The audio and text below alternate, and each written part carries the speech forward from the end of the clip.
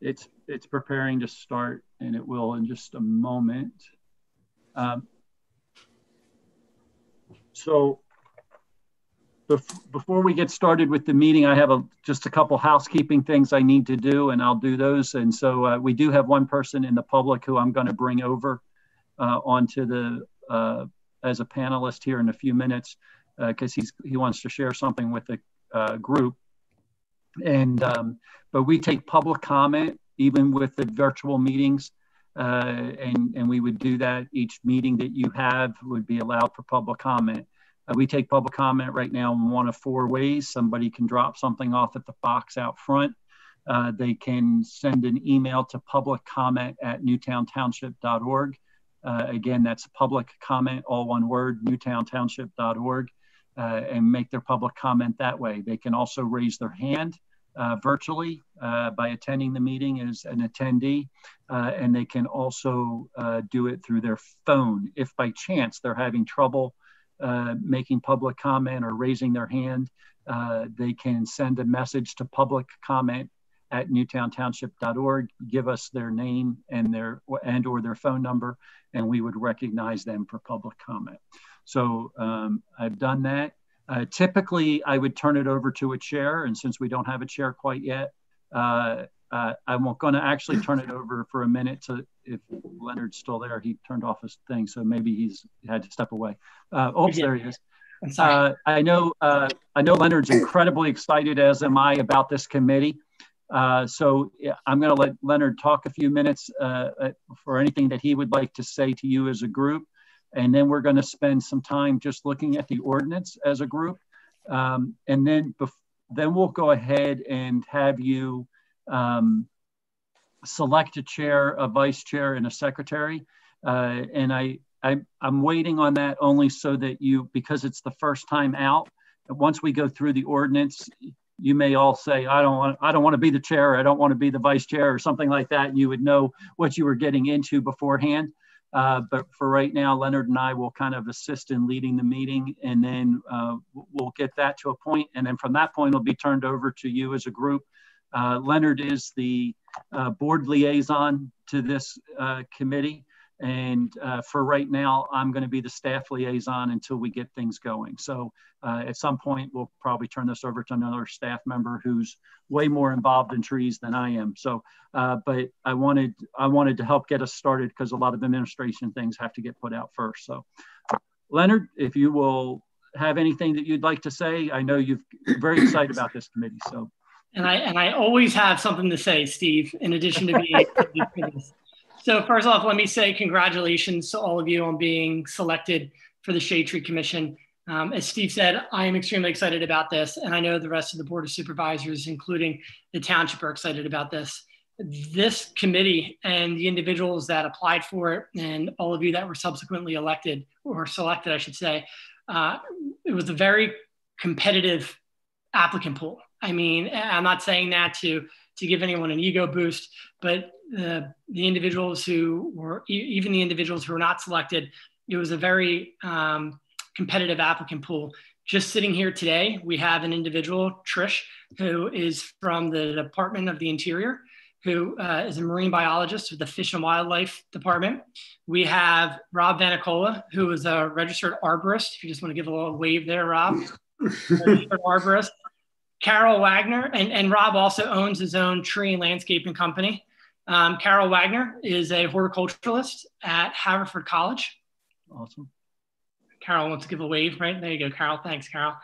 Tom Tomasco, who has a uh, landscaping business, a small business owner um, who's had that for about 30 years and employs over 45 individuals and Mr. John Rice, who comes to this board with the experience of being on the Lower Merion Shade Tree Commission, as well as being the grounds coordinator for, and John, I keep forgetting what this estate is called. What is the estate called?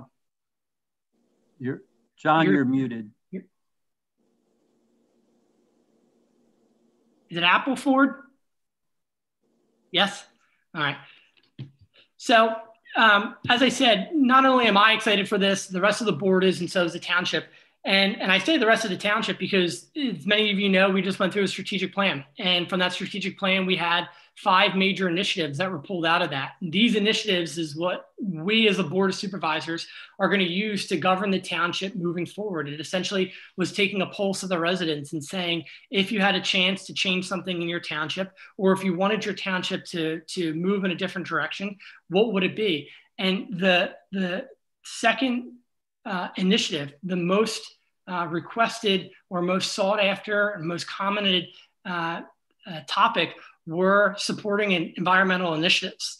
91% of the individuals who applied, who, who filled out their strategic plan um, said that they agreed or strongly agreed that supporting environmental initiatives were important. And from that, the expected outcomes for our strategic plan are protecting streams, wetlands, appropriate trees and vegetation are reestablished, protected and preserved, open spaces preserved and reclaimed, and stormwater management is maintained, uh, stormwater management to maintain a sustainable community by reducing floodings and supporting healthy streams and rivers, which obviously having a strong tree canopy will do.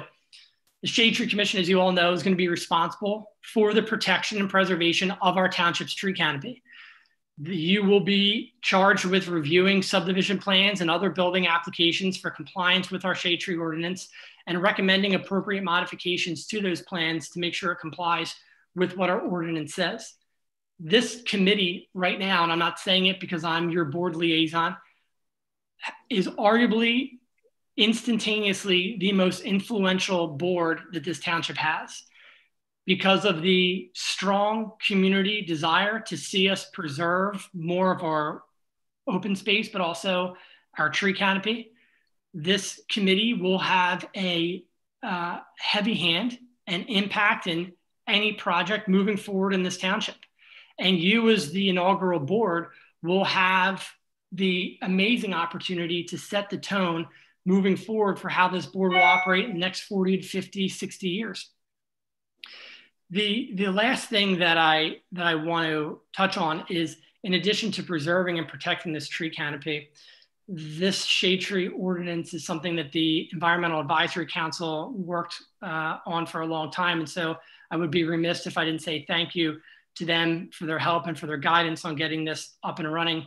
Obviously, thank you to the rest of my colleagues for supporting it as well, and, and, and not just you who, who have been selected, but everyone else who applied. But this ordinance will also, in addition to preserving um, the wooded areas to prevent what we now see down closer to Edgemont, where that entire swath of land is clear cut, where we see up on 252 on the Marple side next to that Presbyterian church, clear cut land to hold developers and contractors accountable to prevent them from, quite frankly, defacing our township by these reckless bulldozing mechanisms. And also, you know, is extremely relevant for my neighborhood in the Heights. It's preventing individuals who don't get their way through zoning or other um, township applications from clear cutting their land out of spite. The township never had any sort of mechanism to do that. And coincidentally, this gets approved at the same time that a lot of those things are going on. And that's why I say this board is arguably right from the bat the most influential and most important board. So I just want to say I look forward to working with all of you. I look forward to getting to know all of you on a more personal level. Um, I look forward to meeting all of you in person eventually. Um, you all have my township email address. Uh, I will also send an email tomorrow to make sure you have my cell phone number in case anybody needs it. But uh, as your board liaison, I, my goal is to be here at every you know every meeting I can attend. When I ran for the board of supervisors, I told my wife it was two meetings a month, and that has quickly turned into about 12. So I'm getting there close to Steve Neese on how many meetings I'm attending. So I, I, I won't have perfect attendance, but I'll be here um, to also bounce ideas off of. This is going to be a collaborative relationship. I don't want you to think Leonard's on the board of supervisors. We can't talk to him. Absolutely not. I want to be used as a resource, just as the board of supervisors is going to use all of you as a resource. So with that, I will stop talking. I will let uh, this meeting commence. Um, and just full disclosure, I will have to leave at seven o'clock because I have another engagement. But again, thank you all. And I look forward to getting this off the ground with you. Great. Thanks, Leonard. Thank um, just in case anybody doesn't know, uh, I'm Steve Neese and I'm the township manager. And like I said, for now, I will be uh, helping get this uh, kicked off and started. Uh, and in the future, we may bring somebody in from our public works department to be working with you who is actively involved in our trees that will probably bring a better sense of what's going on with the trees on our property than I may have because they're out dealing with it every day. So um, anyway, I just, but we want to make sure we help you get started administratively. And, and so, uh, and again, as Leonard has said, anytime you need to reach out to, to me or any of the staff, we're here to help you achieve what you're uh, setting out to do. Um, on our agenda tonight, uh, I believe that we have set up, oops, I have a screen coming up. Uh, we have a screen coming up that basically allows for uh, uh, a call to order um, and a roll call. I'm going to hold off on that. I'm going to go ahead and jump to public comment, um, allow public comment, uh, and uh, when we get through that, uh, we're going to go through the ordinance, and then when we when we will call full order when we get to the spot um, where we can put somebody in charge to take over and do that because I don't think that I have the authority to call this meeting to order as the township manager. So, um, so uh, we'll go ahead and take public comment. So I'm going to allow Paul Seligson uh, to address uh, us. I know he had called Tom Tomasco uh, with a, a thing that he has, and I suggested that he come over. So, Paul? Yeah, I'm here.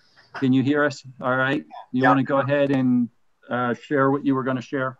Okay. Uh, yes, thank you very much. Uh, Steve, I sent you just now. I, I quickly scanned, I just rifled through all of my things and scanned you. Uh, and I don't know if you can share it or not, but it might be coming through momentarily. So, first of all, I want to say that that uh, Leonard and I, we were both on the EAC, and it was around the year, I would say 2005 to 2007, somewhere around there. So this was already being talked about. A tree commission was being talked about at that time, and I we I'm very very grateful to see you guys formed and to hear of your really really uh, uh, strong backgrounds and and how um, well versed you are in the subject of trees. Um, uh, so I'm sort of jumping ahead a little bit, but there is an MS4. The, the Newtown Township was signaled by MS4, which is, uh, you know, the four S's, sanitation, sewer, stormwater, and something else. Um, and we were, uh, Newtown Township was asked to sort of help uh, uh, get control of their stormwater issues. And and the township fashioned a reply and it's now the reply is back to the commonwealth.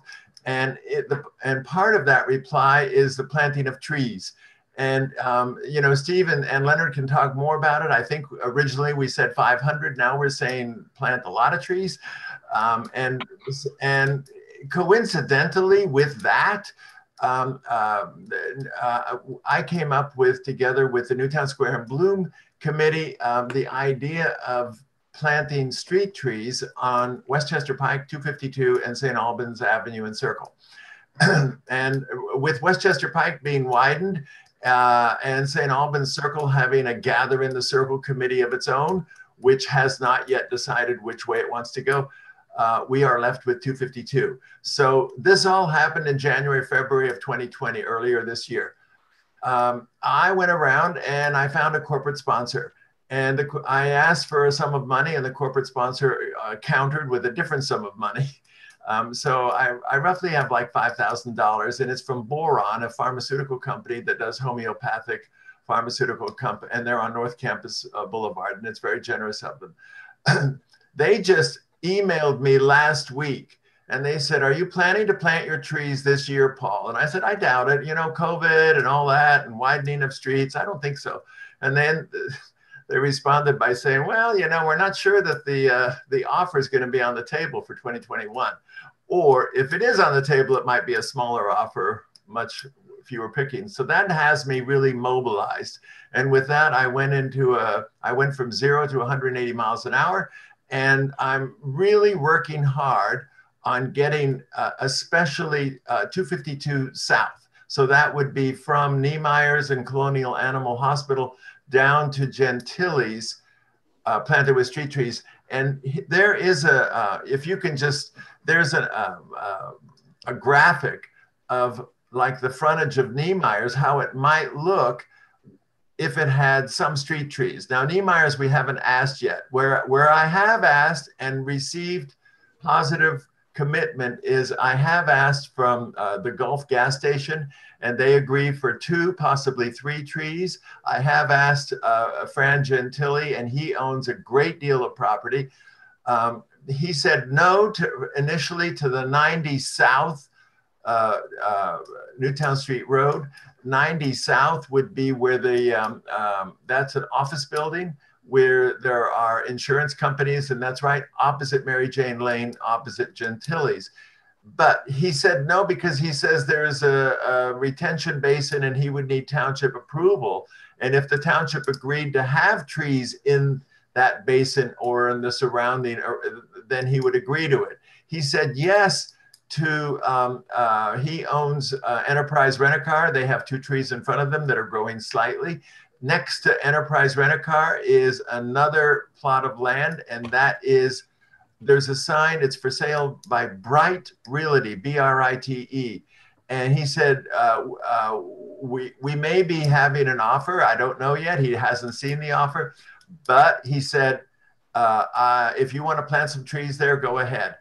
Then he said, um, uh, if you want to plant some trees, he owns Malone Auto. You want to plant some trees, go ahead there. So, Steve, there is a, um, um, if you go further into my documents, you'll see one with a lot of dots. And that's where, uh, yeah. And so that's 252 South running from, uh, from 12 o'clock to like seven o'clock is Westchester Pike, and running from seven o'clock to like three o'clock is 252 South. And to the right is Gentile's, and to the left is Colonial Animal Hospital, and then the Boron gas station right across the street. So I have, so he's he has said four four trees for sure. Yes, Paul, maybe uh, maybe six. Gulf has said two. That's eight. Um, and now I'm asking, and I just am in the process of asking Cavallo um, uh, auto uh, specialists, and mm-hmm. they're mulling it over. They're thinking about it. They have not gotten back to me, but they would have six spots. Um, and then there's Europa Pizza, and then there's Niemeyer's, and uh, Leonard and I have a plan to go to uh, Niemeyer's. He knows somebody at Europa. So, I mean, the, the plan is such. I mean, I don't know how many we're going to get, how many yeses we're going to get or not. So hang on. Now I'm, I'm coming to my questions. So the question is, should I get root balled trees or 25 gallon container trees?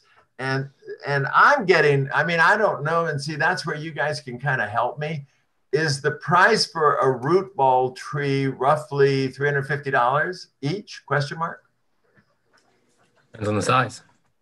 I'm sorry? Depends on the tree. Depends on the size and the tree. So these are trees that would be drought resistant and they would get to 25 to 30 feet, not higher. I'm, I'm picking trees. There is a tree specimen list in the uh, stuff that, uh, in the material that I sent to uh, Steve. Um, I'm picking deliberately small trees so that they don't overwhelm and they never go into the electric wires. They might reach into the uh, uh, Comcast and into the uh, that's the, and that's the tree specimen list. Um, they might reach into the Comcast and Verizon wires, but they wouldn't reach any higher. well, that helps. Um, so when you say it depends on the size, do you mean the size of the tree when it's mature, or the size of the tree that we get? Look at That we get. Yeah. Come to speak. Yeah. So it depends on the size of the tree. How about salt tolerant? Yeah, they're all all of these are all salt tolerant. Salt tolerant. So I'm I've worked with PennDOT and New York City uh, Parks Parks Department. I, I pulled it off of the uh, uh, off of the web, and then and then I filtered it all through Steve Mastardi as well. So it's PennDOT, New York City Parks Department, Steve Mastardi. I mean, this is the distillation. And these are the tree, and I'm open to suggestions. And if you say some of these trees that I have listed are absolutely wrong, I, uh, they're going to fall off the list. And if you say I've forgotten something, I will add it to the list. Um, but but my, here's the, the, my dilemma is I need to move very quickly. uh, you can plant trees, is my understanding, and this is a question sort of. Um, from you can plant up until November 15th, November 20th, and perhaps until December 10th. Do you guys agree with that? Yes. I do, Yes. yes. You you can plant anytime as long as the ground's not frozen. Okay. Well, thank Yeah. you. Uh, um, so if I didn't, uh, is it cheaper? I, I'm being told that a, a 25 gallon container tree is cheaper than a root ball tree. And in Depends. yeah, and you Depends on the grower. I'm sorry. Depends on the grower. I, I found sometimes container trees more expensive than root ball trees. Uh, one other thing about uh, a containerized tree is you usually have most of the root system. If you get a ball and burlap tree, you might not have as many of the roots, so you might have a better chance of them surviving if you get the containerized tree. Okay. But it's also a contained environment. It's not really suited for, they're, they're grown ideal conditions, whereas a field grown, they're a little tougher. Uh, true. It also depends upon who's planting and whether they know how to loosen up the root ball or whether That's they a just fact. pull the pot That's a- off and stick it in the ground. Yeah, it, That's it- a fact. That can yeah, it's got pros and cons both ways. so far all of the locations where i'm where i've been given the green light are ground. It's all soil right now where the trees are being thought of to be planted. There are you know there are people that have asphalt and cement and i have not yet gotten uh, i haven't asked the question of those people but in that question i'm going to have to uh, excavate a three and a half by three and a half square take out the dirt put in more organic more enriched soil i suppose is that and I, I and what i need from you is your feedback i'm sorry to lay this on you like right now do you guys agree with what i'm saying Absolutely. I mean, that's the biggest concern in my view. It's the soil that they're going to go into alone. if it so is there a difference in watering according to your uh, do root ball trees once you plant them you can kind of let them go by uh, and they're on their own they're No. they do okay or do you need to water them as well You'll have They- to water them for the need first couple of years. uh, excuse me how many years Two. Uh, I would say Yep, three. First two. Here, three. Yeah. and how many how many years of watering for container Same. Same thing. Yeah.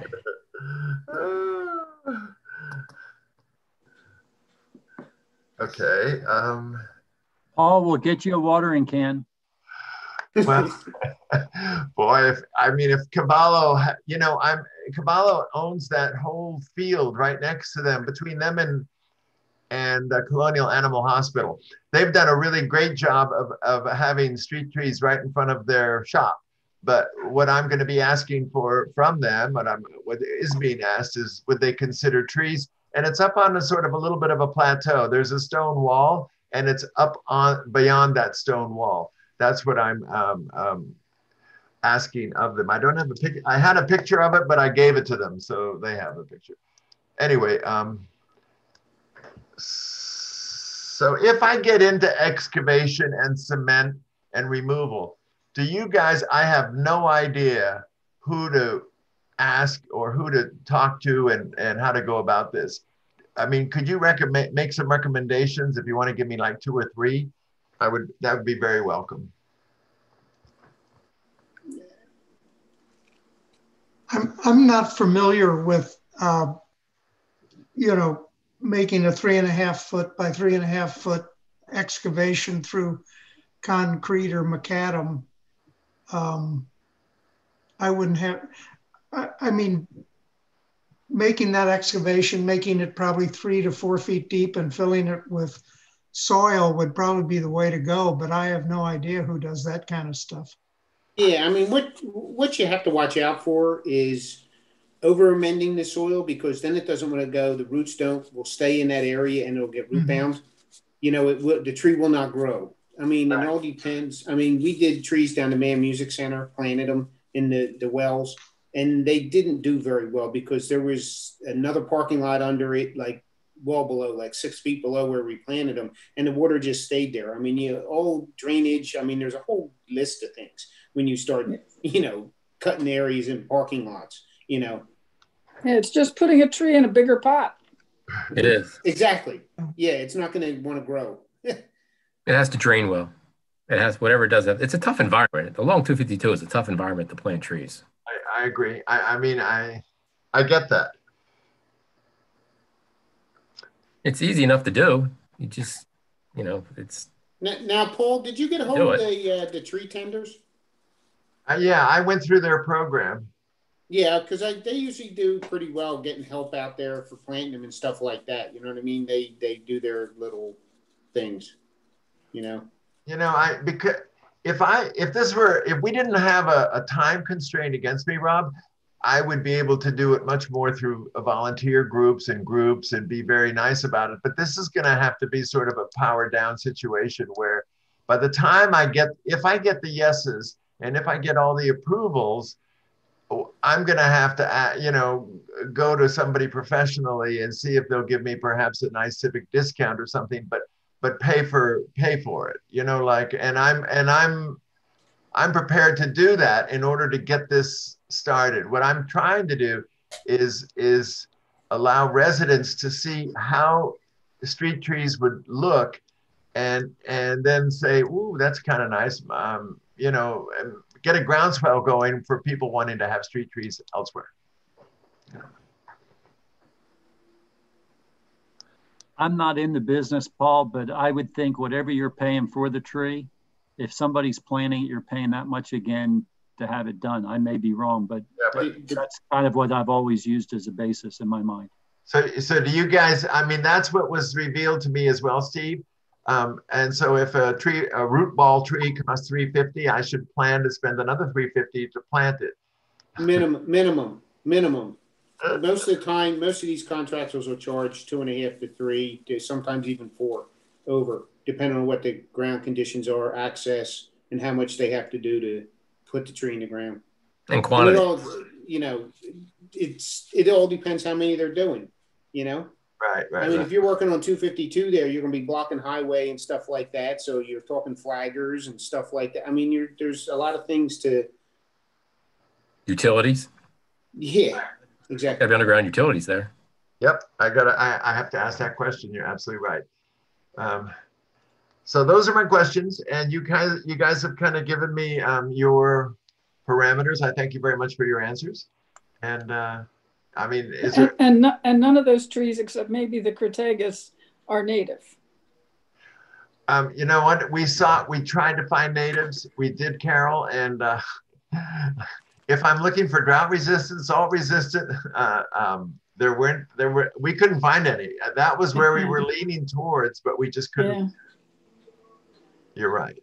I've dealt with a lot of these plants, and you know the um, um, the um, the tree lilacs are very hardy, and they're really beautiful when they bloom. They make a nice small tree. Um, uh, the cherries, I mean, we have cherries all along Westchester Pike. Cherries are not a real long-lived tree. Right. I'd probably stay away from the cherries. Um, Carpinus are also pretty tough. I like those.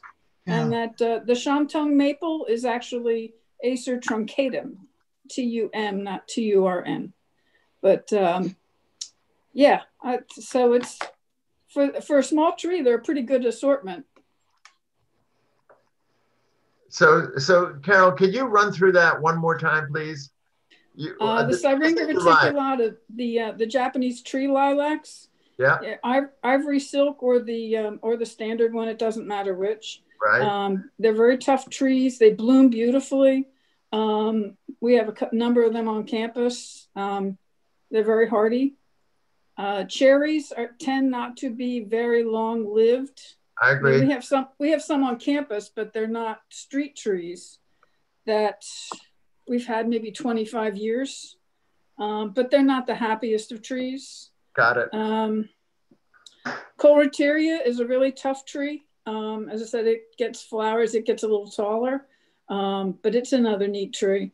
Carpinus I like. I'd probably stay away from the fastigiata because even the regular Carpinus has a beautiful um, sort of a teardrop shape that really you don't need to go with the fastigiata that might look like those funny things that were planted along uh, Darby Road in Havertown for years. Right. Um, Acer truncatum. Uh, sometimes the Japanese maples tend to be things that seed in a lot.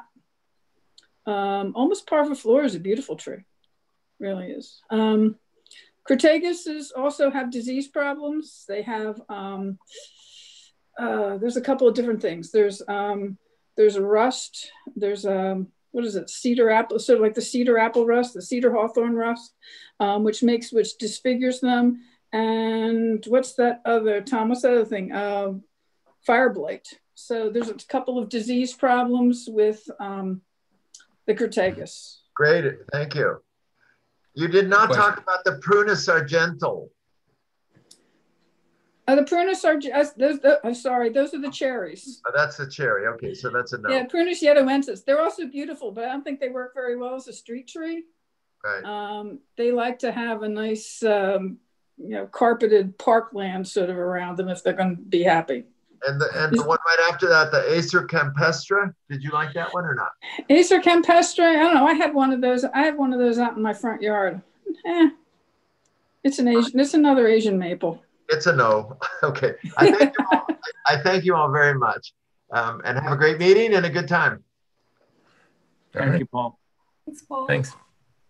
Thank you. It's a good starting point. um, if, if, you wanted to, the uh, Lower Merion Township on their uh, website has a list of recommended trees for homeowners. Um, and some of those might be appropriate. Okay. Yeah, Springfield does too.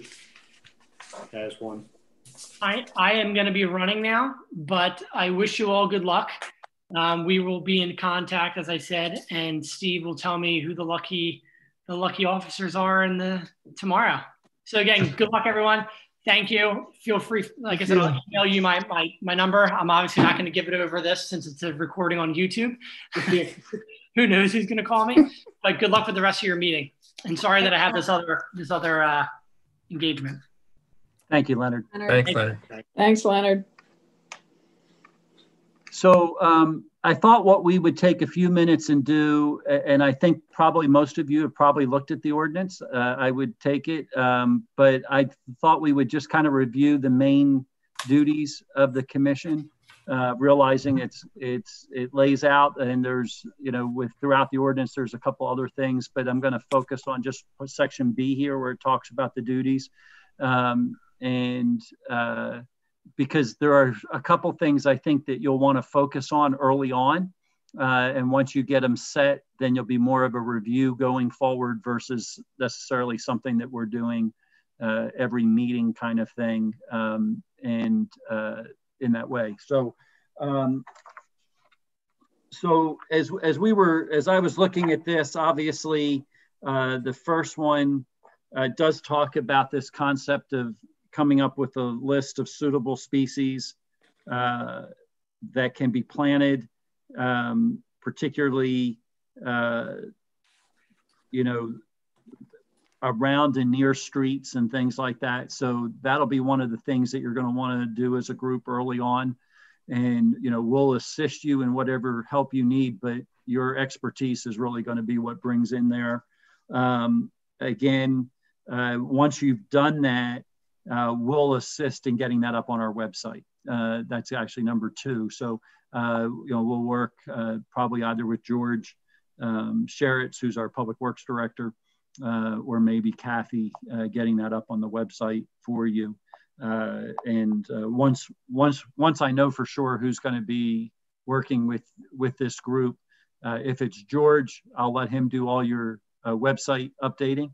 Um, if it's not, then we'll get somebody who will be your contact for that purpose specifically um, so that you'll know who that is. Um, uh, the uh, so those are really kind of the first two, you know, about what's the appropriate size, those kind of things, and and kind of you know what makes good sense as street trees and and that. And so Uh, I will say that one of the other ordinances that we probably should uh, get you a copy of so that you're familiar with it is also we have a, uh, I say an ordinance, I think it's actually a resolution that the board passed related to uh, in, invasive species, um, just so that you would be aware as, as you're making decisions the best we can that we would want to do uh, plantings that are indigenous as much as possible. Um, and then uh, we, there's this whole section about um, heritage trees. And um, if you look at the definition of what we said about heritage tree, you know, we gave it a size, but we also said it might be of something that has a value in the community. Um, and so, uh, just as an example, one of the things that we think was ultimately fall under that is a tree that was actually planted a couple years ago uh, but it was planted in honor of one of our police officers who who passed away, uh, not while on duty, but who was uh, one of our uh, officers. And so it, I think it falls under that heritage tree piece. And so we'll talk about what all of that would look like.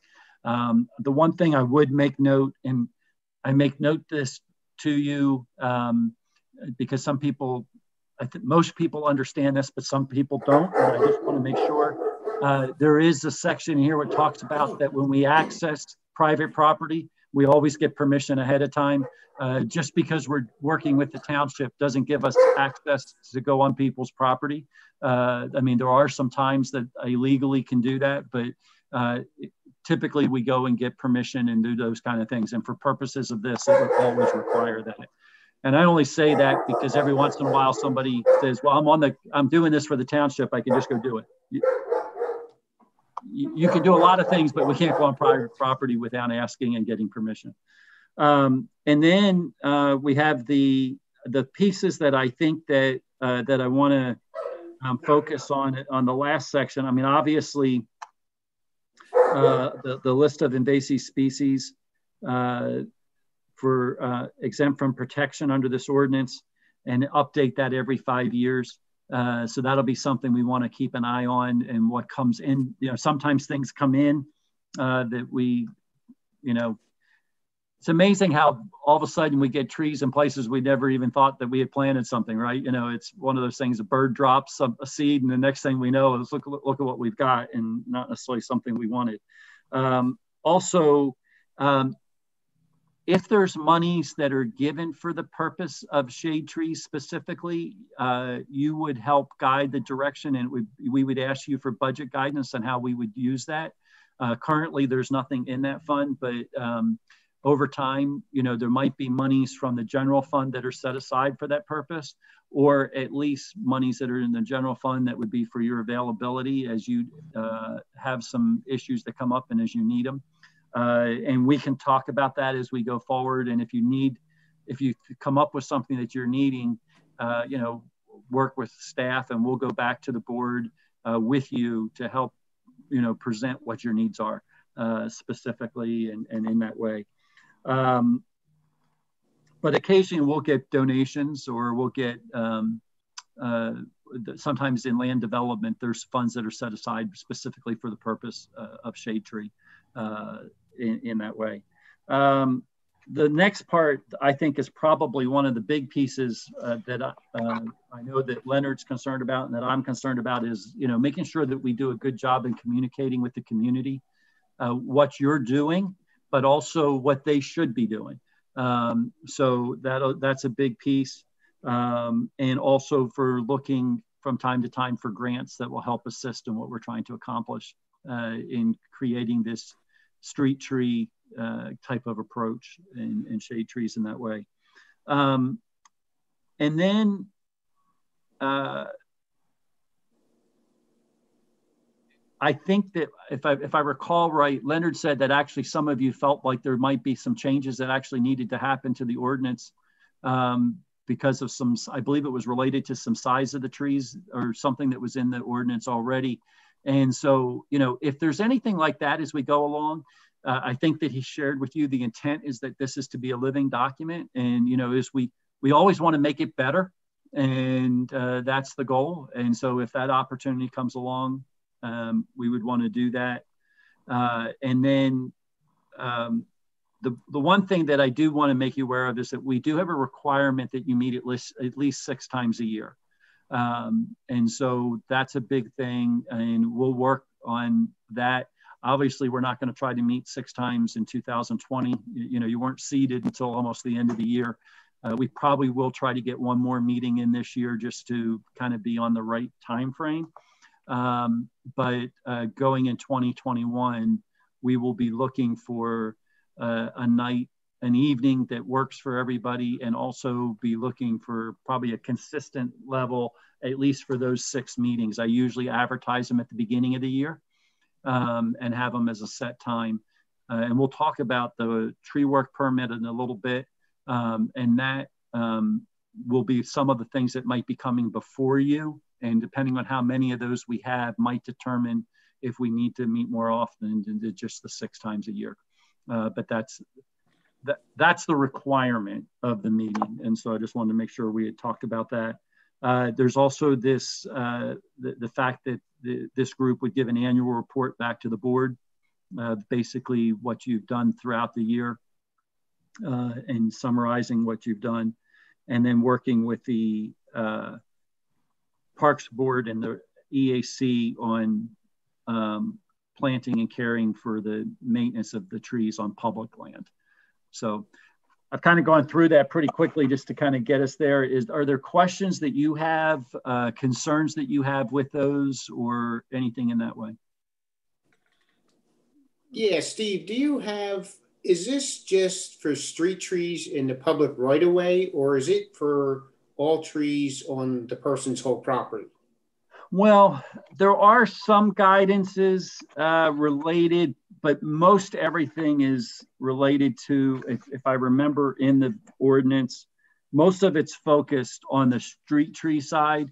Um, but we have put in there that if they're taking down a certain number of trees, that they need to do a permit and um, depending and on how, and how many is that? Because I got a lot of people asking me already. Because I was telling people I was on this, and they, I mean, I got calls last night about it. You know, they don't want to start yeah. jobs if they actually have to go through the permit issue. You know what I'm saying?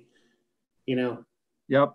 Um, and in the moment, I don't remember exactly. I'm trying to look through grading, demolition, clearing tree work. Uh,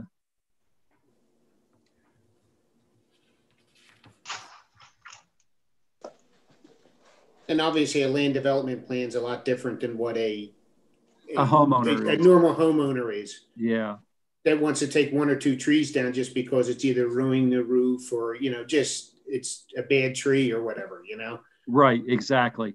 And so one of the things we did say, and I think the way the ordinance is written, it's it's not so much you know if a tree is bad, if a tree is dangerous, um, our staff we have a we have um, I don't know if any of you know Pete Williams. Uh, Pete is on our staff on the public works team. He used to be in the tree business himself. And um, he, he can go and look at a tree pretty quickly and tell whether or not it's dangerous, whether it's going to be an issue of, you know, potentially uh, causing damage to property or person. Um, and so we wouldn't want to hold up somebody from being able to take down a tree that, like, I wouldn't want to have somebody wait two months until they could be before you for a tree if they were if it's going to potentially fall on a house or something like that. So now all would, these per, all these work permits have to go through the shade tree commission. Not all of them, but uh, but if they're over a certain size or over a certain amount, they would have to. Um, okay. So, like for example, uh, I believe if the if it's greater than 24 inches, it has to go before you. Now, there's no one because I know Springfield has the Parks and Rec guy, uh, Frank Papa, he he goes out and looks at them. You you apply for your permit down there. He goes out, looks at it, approves it, and then do what you want to do. You know what I mean? That that you know, I don't know if people would wait that long. I mean, there's going to be right, of, and that's you know and that's saying? one of the things that I think that we have to look at is this whole thing, yeah. and say, does every piece of this work well? And um, you know, that's one of the reasons why you know we'll I think it's going to take us a little bit to get up and operating uh, and fully functioning the way we want it to function. And you know, we will try some things, and if it doesn't work, right. then we'll come back and we'll go to the board and say these are the changes we think need to be made. Right. Okay. I think the idea, I'm sorry, somebody. Yeah, Steve. So as, as a committee member, we're on the board. If we see something in the town, we stop in and say, because like, you know, at the bottom of my street after the storm on August 5th, a lot of trees came down and, and people were removing trees around their house for safety reasons. But some of those sure. may have been an issue. Some of them may not. And I can't blame them. You know, how many, how many houses got crushed on yep. my in August? Yeah, but, that was a bad storm. We lost a ton of trees in our community at that storm. And you know, look, when when it's a safety issue or there's a concern about that, we're going to err on the side of take it down. You know, we're not going to we're not going to hold something up if we think there's a, truly a potential of a safety issue. It's I don't want that liability. Right. Um, and I don't want the liability for the township on that. I, right. I think what we're really concerned about, you know, um, it's the things where people come along, particularly along their property line, you know, right along the street edge, and they, you, you know, you got 10 trees that run across their property frontage and they take them all out. And, you know, that's the kind of thing that we want to make sure that they're coming before you, what makes sense, you know uh, i mean obviously if it's in front of their house and it could fall on their house we'll have a different conversation. But you know we we've had two right here on bishop hollow road that i mean literally i think they took out close to 30 trees. One wasn't quite that many. I think it was only about seven. But uh, the other property i think was close to 20 or so trees uh, between the two it was about 30 and you know i mean they were all away from the house. And if the tree had fallen it might the limbs might have touched it but it most of them were pretty far away.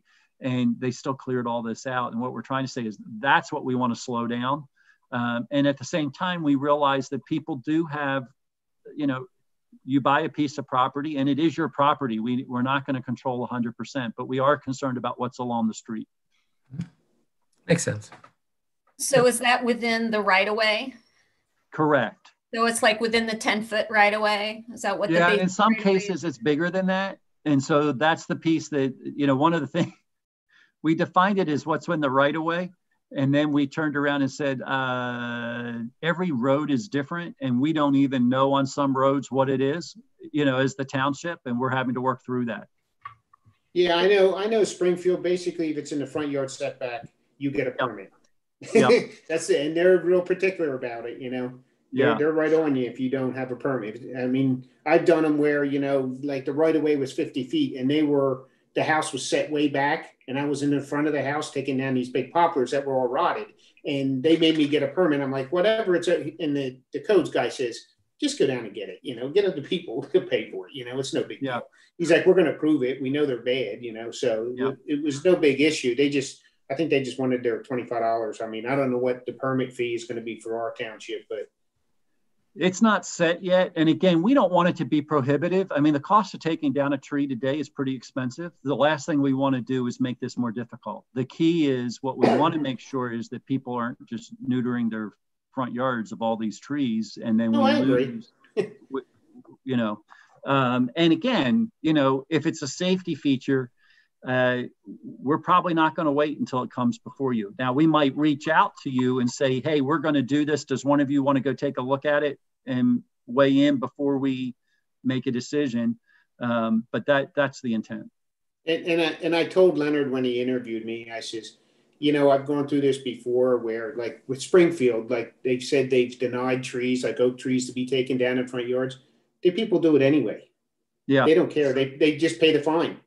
Yeah. You know, they just pay the fine. There's no, I mean, they'll pay the, I mean, I think in your this ordinance is a thousand dollars. I think Springfield six hundred, but the people just pay it. If you're paying, you know, four grand to take a tree down, they don't care. Six hundred dollars, you know, we want the tree down. I mean, I think people take down trees just because they're scared of them and shouldn't, but you know. Yeah. We're just trying to keep balance, and I think that you know one of the pieces that where where I think we're really after is that a lot of these, it, it's if you take them down, we're not so opposed to the, the it, but that you we're not so opposed that every tree that you want to take down is taken down. It's the issue if you take it down, there is a requirement to plant another tree in its place or two trees depending on the size. And that's what we want to make sure is, is happening. That's the big piece.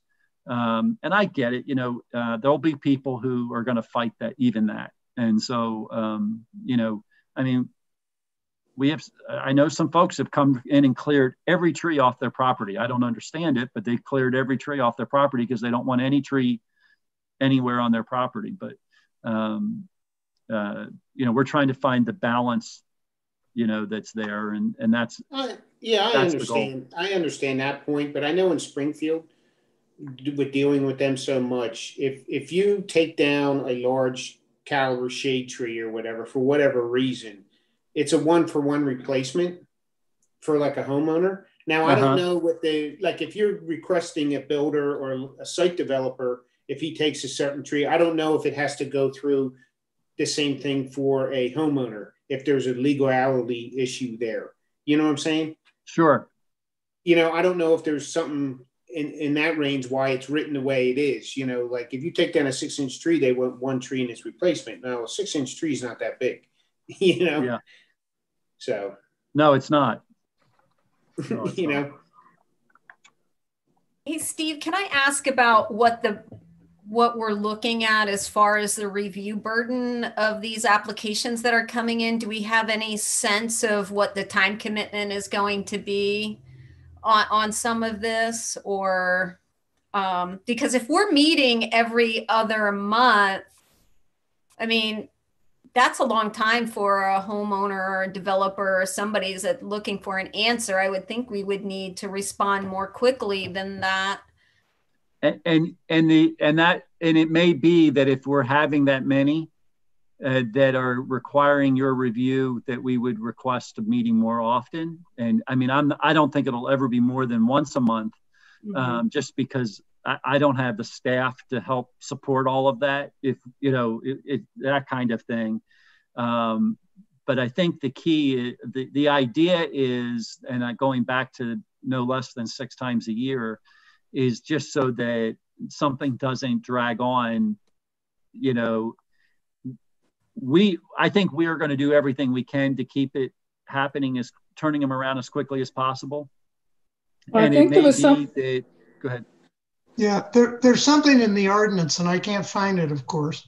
That But If, we- if we don't answer in 45 days, then it's assumed approved. yeah i Yeah. think that's Yeah, right I read that. Yeah.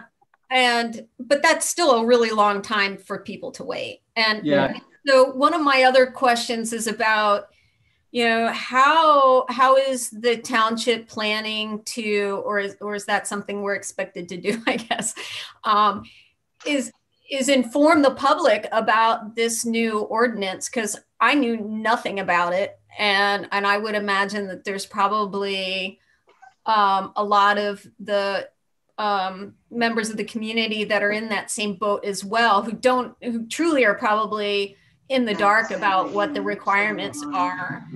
So, is there a plan to do some sort of outreach, like go to um, either the um, the business community groups and have, or if there's industry um, group meetings, and I'm not sure. I'm new to this area, so I'm I'm not Or, or sure. even, or even Bob Blazy's magazine that goes out to everybody in the township. Sure. So, I mean, we do have we the in community magazine that everybody gets uh, That once a too, yeah. quarter is is our where we put a lot of stuff, and we will, uh, you know, probably for the next one, and that's one of the, actually one of the things that's I wanted to talk about tonight, because in November we're gonna we have to have something together, and I think it goes out in December.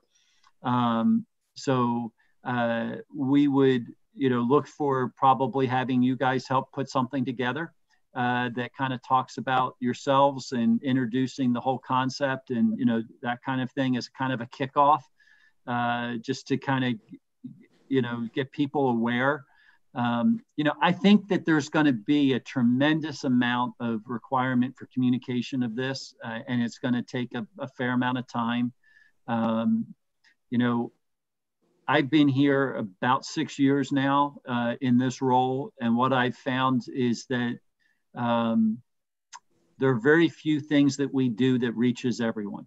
Uh, you know, uh, we can do an email blast, we can do a Facebook blast, we can put it on the website, we can you know, we'll we'll put it in the newsletter. We'll you know do all of those things, and then I talk to you know if I talk to 10 people, there are two people that will say they saw it, you know? And so it's like, oh my gosh, what do we need to do to, to change this? And so, um, and that is one of the other pieces that came in the strategic plan. And so we really are trying to figure out what the answer is. And one of the things I'm looking at is going, uh, you know, people, even though we look at in community as our newsletter, um, people don't see it that way you know, I mean, we we spend a lot of time putting the articles in the middle of that magazine. If you'll know, there's things there's things from the library, there's things from uh, the school district, and there's things from uh, Marple Newtown Recreation, uh, and then there's usually six to eight pages that we take on, and I can't tell you how many times uh, that I've had people tell me that they don't think we do a newsletter. And so obviously you know it's it's for us we've got to figure out how to do that better. And so we are we're looking at some possible you know do we do do we do a, a direct mail mailing type newsletter uh, every so often maybe not as often as that but that we supplement that with a direct mail piece ourselves um, just to kind of help out and draw people's attention to places that we're putting information to help get the information out is there a local newspaper that speaks to what's happening in Delaware County? I mean, that's either in print or online. The Delaware, County Times is probably the closest to, to that. There's also a, uh, maybe somebody else will know this better than I do. It's a, there's a, a county. Is there still news of Delaware County? Huh? Is there still the news of Delaware County? Remember, it was um, part with the Main Line Times. There was the Delaware County version. Yeah, I I know there's two different papers. One runs once a week and one runs daily. Um, mm. And we made the decision to be in the daily when we do any advertising, so that we were consistent. Um, when I first came, we advertised if we could get it in the, and meet the requirement of the weekly, we did it. But we weren't always doing that. And so we would advertise in one place or we would advertise in the other. And I thought that was too confusing. Um, but yeah, I mean, we just released the press release. Um, you know, we, we, we won a distinguished budget award um, for our budgeting process. And um, so we did a press release and Delaware County Times ran it. So I think there are some ways to get information out uh, that we haven't used as wisely. Yeah, so um, so just to kind of build on what um, Leonard was saying, just so that you guys know, um, I I do work for Department of Interior. I work for U.S. Fish and Wildlife Service, and I'm a um, fish and wildlife biologist, and I actually um, coordinate a, a, national regulatory program under the Endangered Species Act. And so, one of the things that we do often is because our program is targeted to the um, non-federal entities, so private corporations, landowners, those types of things.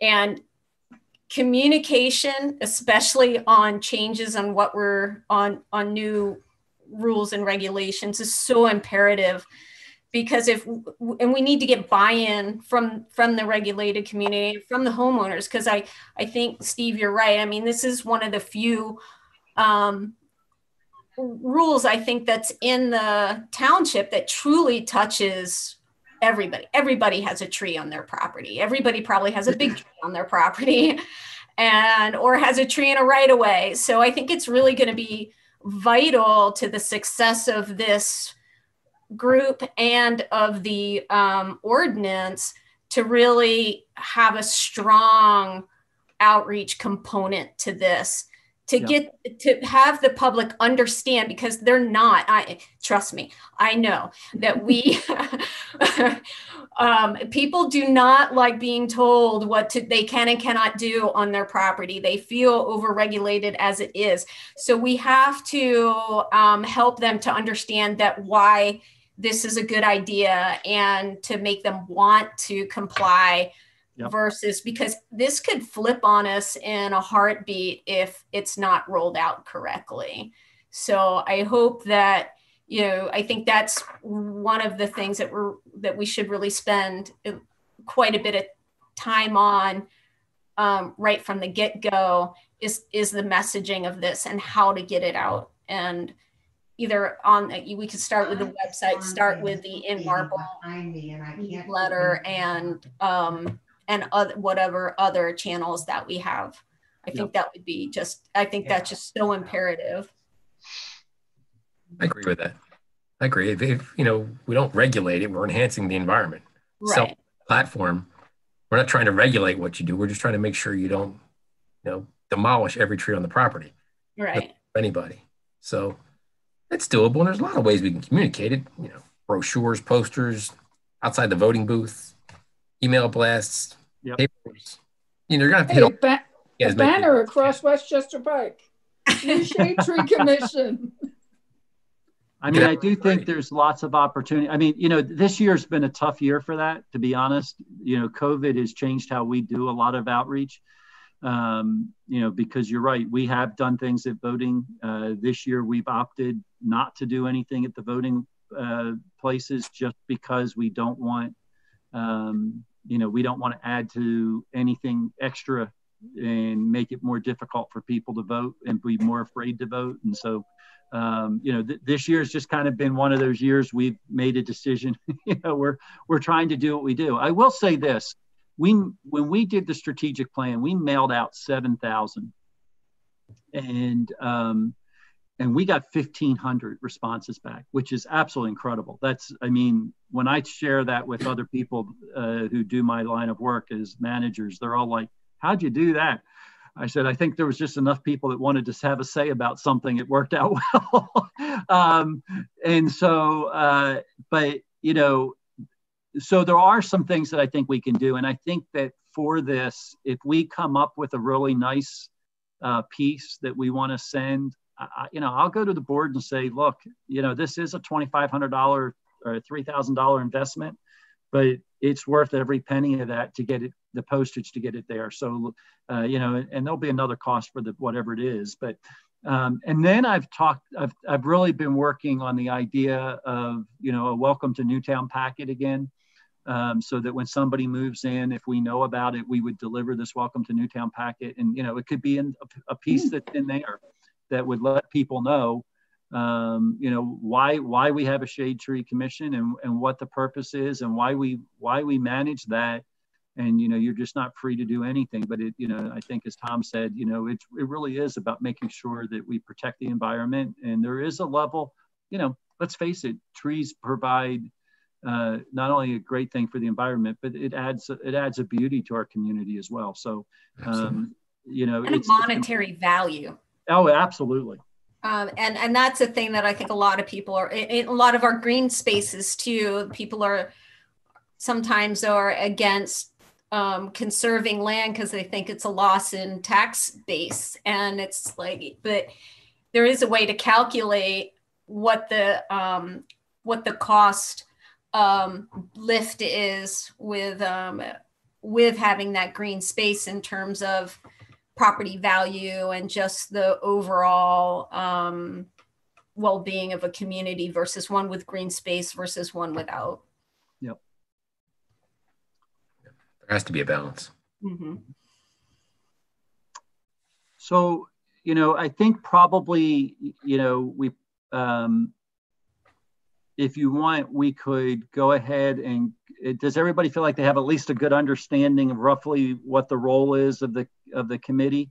Um, enough that you're willing to nominate each other or agree to serve in a position uh, so that we can go ahead and, and do that. And then we can start talking about, you know, maybe some other things, uh, you know, setting on additional meetings or whatever it is that you would like to do um, you know, between now and the end of the year, and then talking about, you know, what we how we want to move forward. I I could see really taking the next two months, three months, you know, October, November, and December, to really put everything in place, so that you would be ready to really go come January. And between now and then, that the our the staff would kind of do as much as we could to keep things moving. Uh, in that way, if we had a question, we'd bring it back to you as a group or whatever. But um, you know, if, if you're okay with that, then you know we'll we'll look at that as a as a way to move forward. Um, but I'd like to go ahead and turn it back over to you guys so that you can uh, select who will be your uh, chair and your vice chair and your secretary, and then we can start making things more official. Before we did that, did we want to kind of maybe have some um, go around and do some introductions? I know Leonard kind of touched on that, but I think it would be great to hear from from the others about kind of what sure. they do. I think that's a great idea. Do you want to start? oh, sure. I walked into that one. Sorry. sure. Um, I'm Trish Adams. Um, I live on Gradyville Road. I just moved here um, in 2015. And I was really glad to hear that you're putting together a, a, a new residence package because I think that's that's um, that would be fantastic. I wish I had that. Um, and so, like Leonard said, and like I said a little bit ago, um, I do. Um, I am a marine biologist, but I haven't done that in a really long time. I when I was living in Florida, I worked for uh, the Florida DEP and Department of Environmental Protection, and we did um, uh, preserve management. Um, we managed aquatic preserves, and then also um, then I got a job with the U.S. Fish and Wildlife Service and did a lot of it and got into environmental compliance under the Endangered Species Act. And so what I do, I'm in our headquarters office in Washington D.C. Um, actually, Virginia and um, where I coordinate a national program under the ESA, and it's called Habitat Conservation Planning. So we issue incidental take permits. So take is prohibited under Section 9 of the Act, and there's different mechanisms under the ESA to have that take authorized or exempted. Section 10 is the way that we do it for private landowners that have a potential conflict. So uh, the plans range in size from we had a, a gas pipeline project that went from Canada to the Gulf of Mexico. We're working with American Electric Power, which is one of the biggest companies in the US on 11 state habitat conservation plan. And then we have some that are as small as quarter acre lots for um, individual mom and pops that are that have um, issues. So it ranges in size and complexity. And um, and so what our job is to do uh, regulation, uh, policy, and and support to the regions. And so we we set standards and for others to follow on how to implement the program.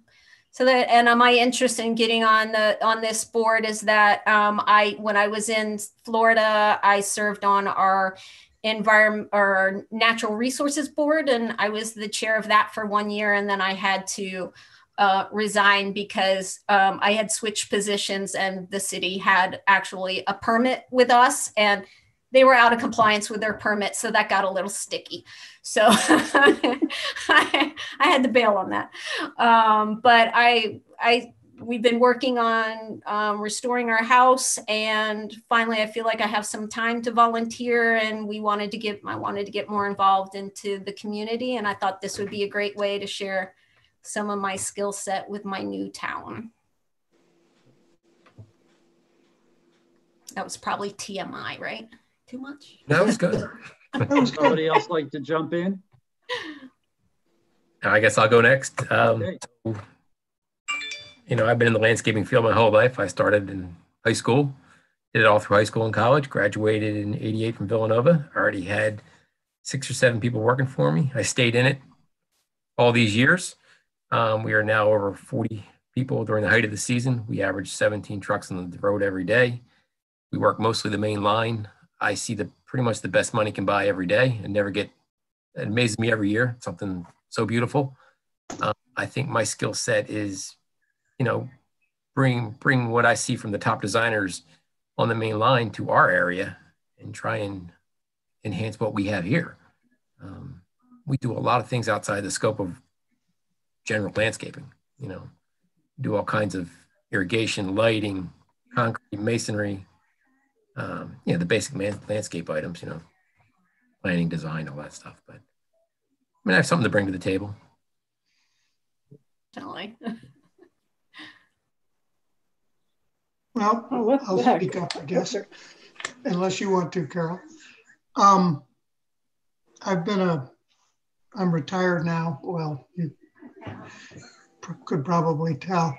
Um, I was a human resources executive for most of my life for uh, Chrysler Corporation and Marsh McLennan and some other companies.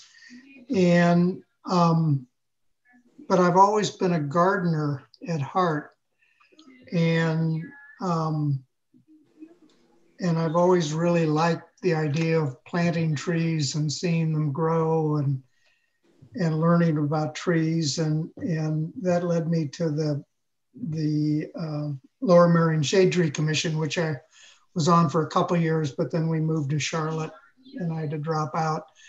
And uh, they face some of the same issues that Stephen has um, mentioned and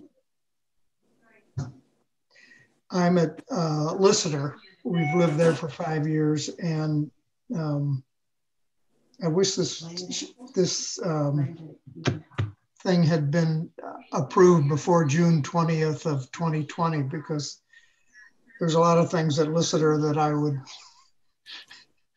wish had changed. Though I guess there is an agreement somewhere with with uh, Newtown over what uh, Toll Brothers has to do, but that's neither here nor there. Then um, I took over the outdoors of uh, or the Appleford, which is a 24 acre estate that's owned by Lower Merion Township, but is run by an executive committee.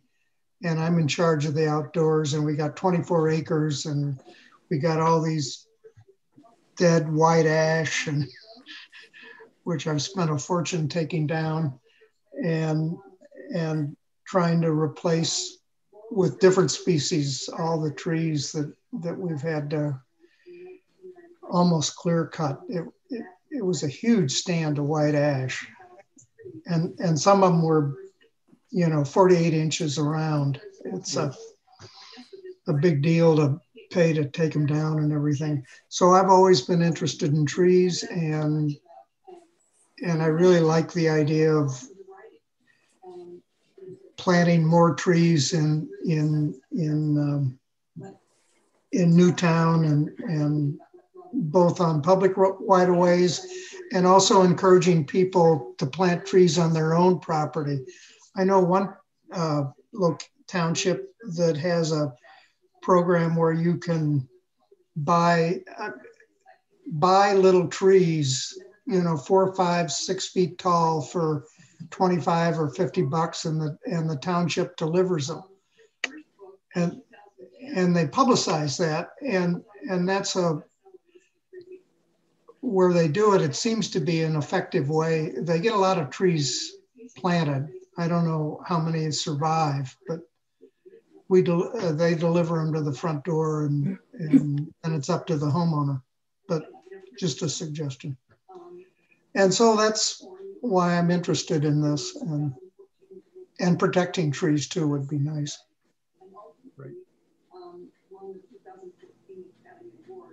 You want me to go? Sure.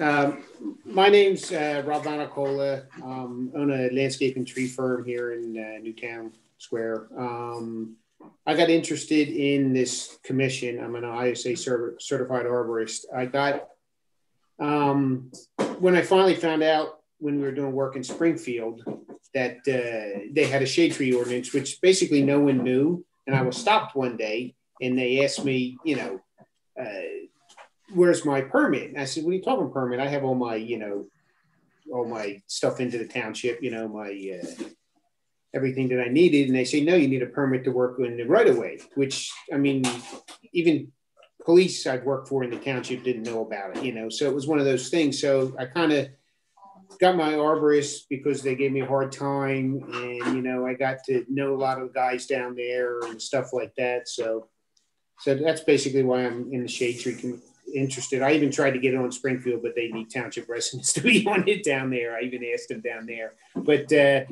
like I said, we I have a small landscape and tree firm. Uh, we do you know trees, uh, landscaping, you know, planting, hardscaping, and stuff like that. So that's basically it. I've done it all my life since I was 10 years old. My dad owned the business, and about 15 years ago, I bought it off of him. So that's basically it.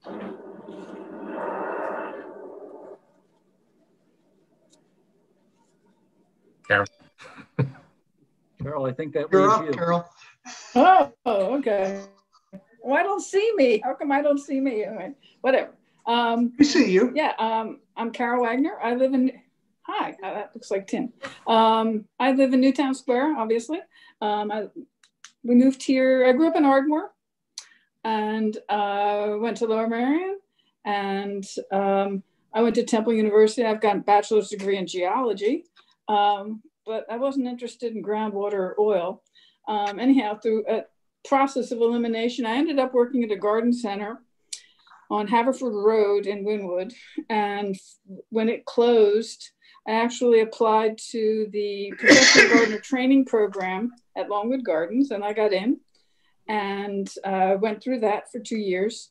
And I actually applied to this uh, horticulturist position at Haverford College while I was there, and they accepted me in November, but I didn't graduate till the end of February, so they held the position for me till I got there. So I've been in Haverford College um, for 32 years, and um, I've planted a, an awful lot of trees, um, taken care of a lot of trees. Um, my favorite tree on campus that I take care of is um, we have a descendant of the Penn Treaty elm.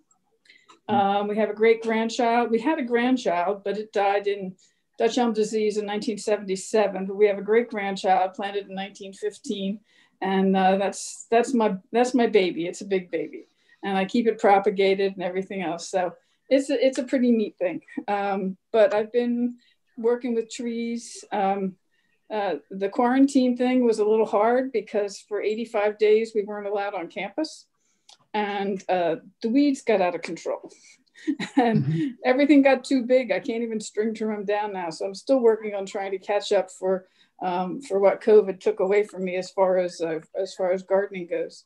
Um, we moved to Newtown Square here the day that John Lennon was killed, December 8th, 1980. And um, so halfway between what used to be the junior high and the high school, um, right off of Media Line Road. And uh, we love it. And um, of course, the Altieri's live basically diagonally across the street from us. And um, so I saw little little Leonard growing up. And uh, so he was the one that wanted me to, he was the one that asked, said that I should probably, you know, try out for this. So I haven't been on this kind of a thing before. I've been on a number of committees and stuff. Uh, I was staff representative to the board at the college.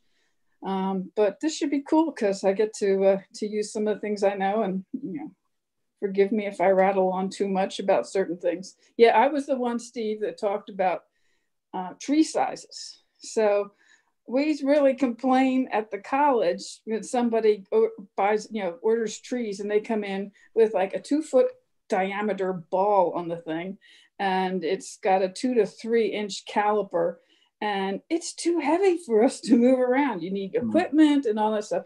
The homeowner, you know, for a landscaping business that's doing these things and can go through and plant these trees like from the right of way and things like that, that's cool. But for the homeowner, you know, A, they can't afford, and B, they can't handle and plant a, a three inch caliper tree. So I Mhm. think there ought to be something for homeowners where they can deal with a smaller tree because if it's taken care of, it can go and catch up to the bigger guys because those big guys Mhm. just go through transplant shock and they'll just sit there for a few years. But um, so yeah, that was one of my uh, that was just one of my questions. Um, yeah, Steve, I got two questions, couple questions. Sure. In the um, ordinance, yeah, there was something talking about chapter 104 and chapter 148. Where can we find those chapters so we can find out what that's referring to? Sure. So uh, on our website, if you go into our website and type in township code in the search button, it'll take you to that, or you type in general code, it will take Okay. you. And if you, once you get there and you click on the, it'll say township uh, ordinances, and you click on that, it'll take you out to the general code website, who is the one that manages all our ordinances for us.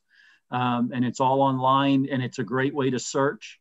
So if it refers to a specific area um, or a specific chapter, you can just go look at it that and Yeah, something said, you know, if, if unless it's, you know, if if you're doing something that isn't approved of in chapter 104, and I'm like, wait a minute, we're stuck in chapter 158. How do I get to 104? Yeah, that's how Uh, you do it.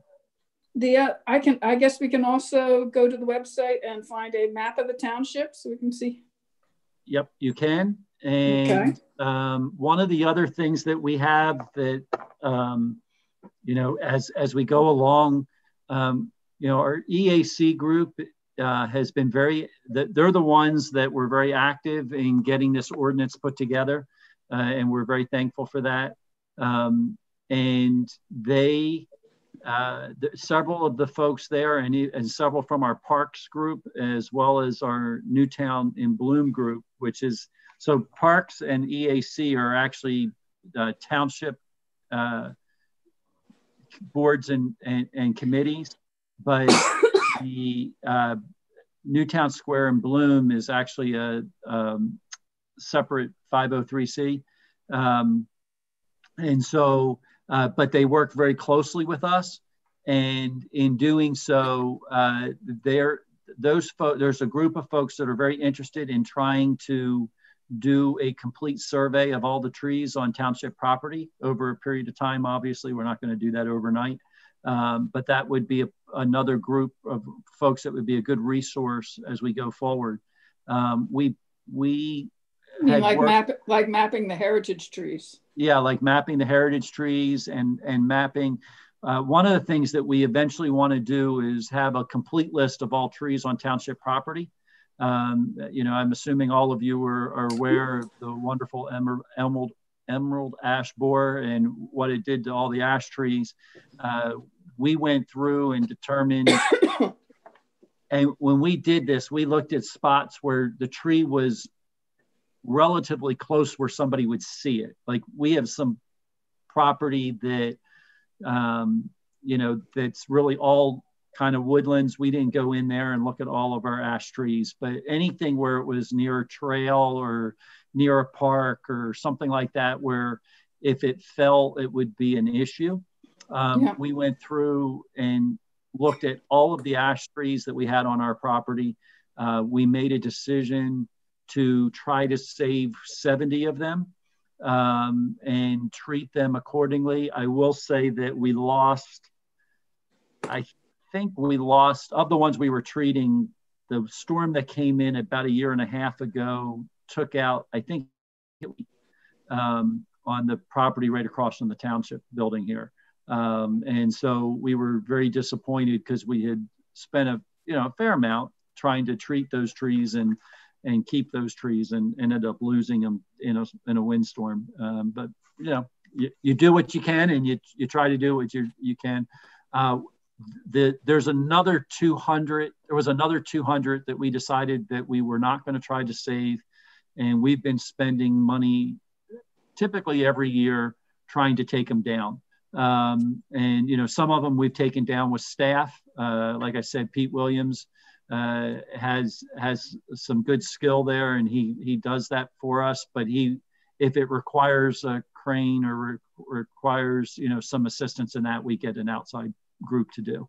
But if he Mhm. can, if he thinks he can bring it down safely, he'll do it. And if not, then we'll do it. We'll we'll hire it out. One of the interesting things at uh, Haverford College was uh, we had, I guess it was 2017. Um, we brought in um, an outside consultant. We brought in Rockwell Associates. He's down in Ridley Park. Um, brought them that John? into. Is that John Hosbach? Yeah, that's Yeah, him. I know John. Yeah, I'm good friends with him. So do I. He's a good guy. He's a trip. Anyhow, we they brought him to, in to do a, tr- a tree risk assessment on all the trees on campus. We have 210 acres, a lot of forested areas.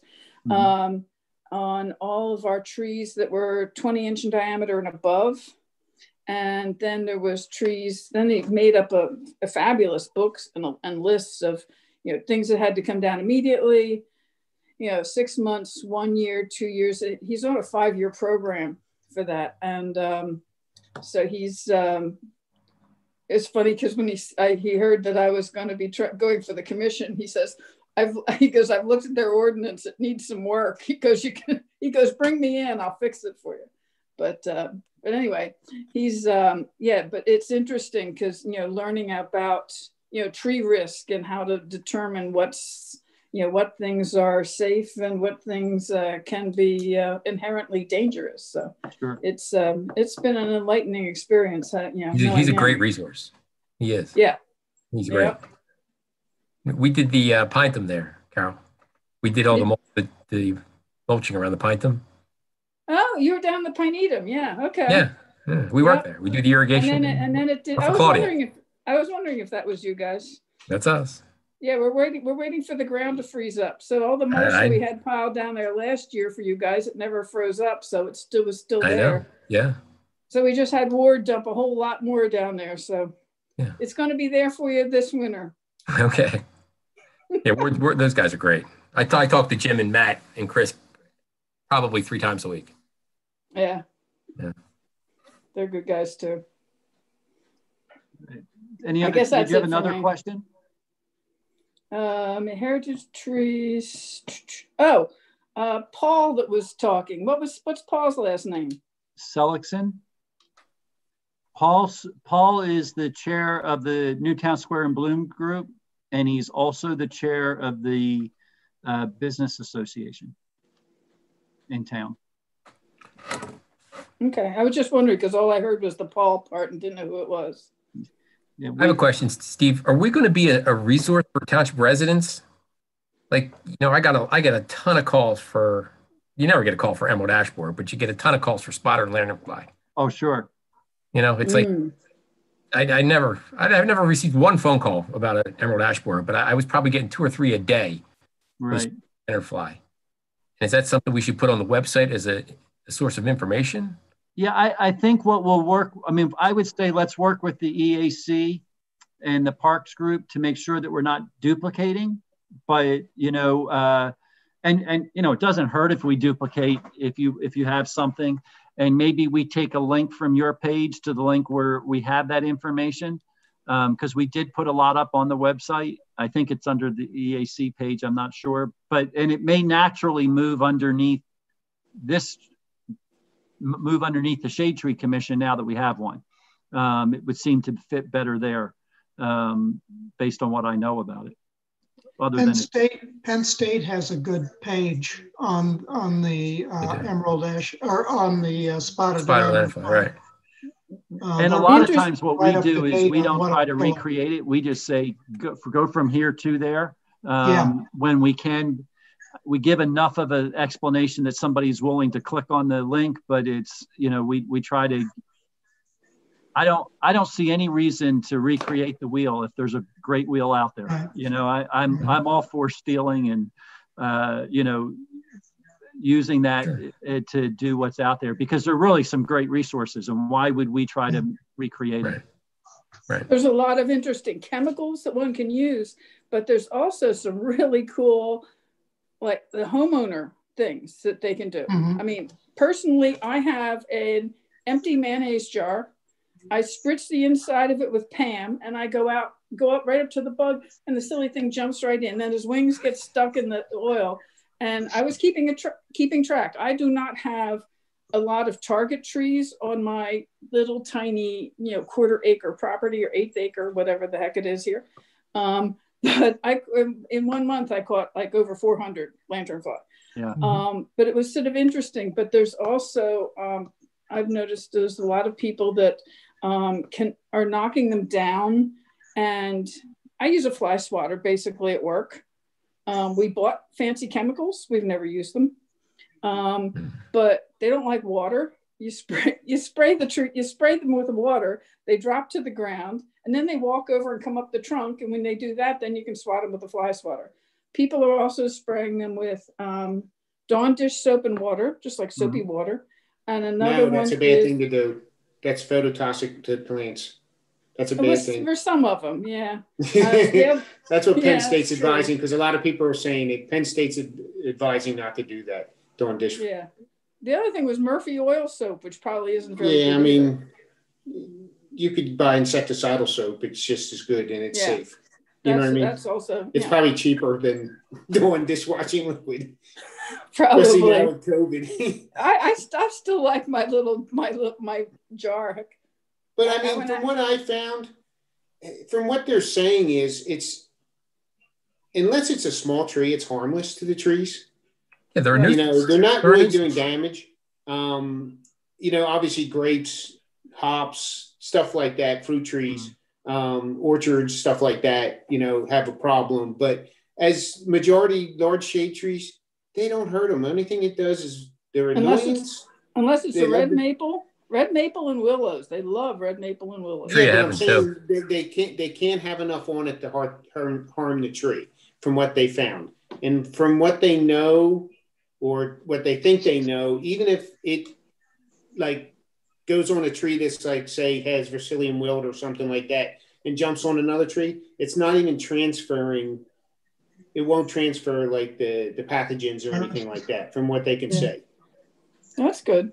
so I- so from have a- what they know now so Yeah. I have a cousin who heard yeah, I have a cousin who has an orchard who has an What's that? orchard up in Birdsboro. He's got 20, 30 acres of, of apple trees, and he was overrun by lanternfly for about three years. The They're next year he went out, it was nothing. I know. That's I have a buddy that sells me chemicals. uh, The salesman is up there. He's like, they have hardly any at all. Now I don't know if Yeah. it'll run its course and just go or what. You know. Yeah, I heard they're Down moving here. south. I heard right, moving. I'm counting down. Two more years. there you go. Yeah. But as a group, though, wouldn't you guys like to see less pesticides used? I see a lot of companies out there capitalizing on the fears of homeowners between mosquitoes and and spider lanternflies. It's like I I can't tell how many phone calls I had this year talking people off the ledge that we don't want to spray for a few lanternflies and a few mosquitoes. You know, I mean, I- Mhm. you guys, but I mean, I'm insensitive to the environment. I saw next to no bees this year. I mean, it's very strange. I just think that part of it is we're, companies are out there just taking advantage of the fears and spraying galore. Yeah. And I discourage it. I, mean, I just, no, I mean, we won't do it unless it's an a true infestation.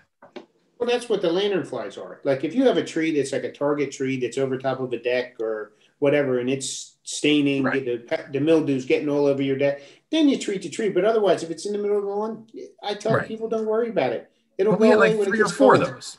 Yeah, we had three or four of those all year. That was it. Yeah. I'm telling you, I probably had 40 or 50 calls. And like you said, they you tell them about the emerald ash borer, and they're like, "Oh, the tree looks good." I'm like, "It'll be dead in three years if you Yeah, don't treat it." You know, and then they call you the two years later. They're like, "It doesn't look good." I'm like, "I told you two years ago to treat it." I mean, I have customers that I've been treating for probably 15 years now. The emerald ash borer Mhm. trunk Wow. spray, and this year is the first year I inject. Uh, last year was the first year I injected them, and that's good for two years. So. I got to do them again next year. But her, you know, I had a guy helping me that actually used to work for Ward, and he's like, "These are the best looking ash trees I've ever seen." You know, in Mhm. the area, how green they are and everything. You know, That's so good. The lady cares about them. She's like, "I can't lose Yeah. them. I haven't. Yeah. That's all my on my property." You know. The injection really works. It, it, it Yeah, it does. if you don't wait too long. Well, I was doing trunk spray with like Safari, and then I uh, I did uh, Arborjet with the um, for the for the injection. So Mhm. So, Robert, can I call you because I've got I've got one that's really bad and I've got one that I think we can save.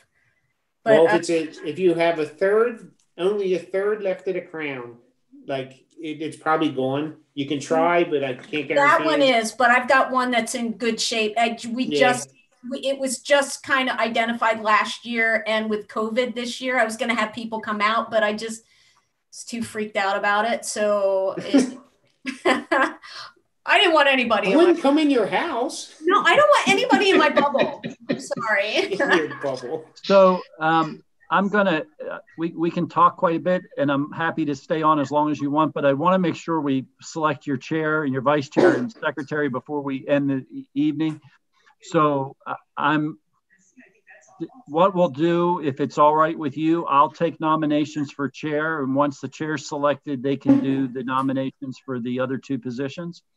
Um, and if that's okay, that's how we'll start. And so typically, uh, when I, when, and then in the, when we, we'll have to reorg in January again. And when we do, we'll, we'll let you go through the process. Whoever's the chair will go ahead and start you off.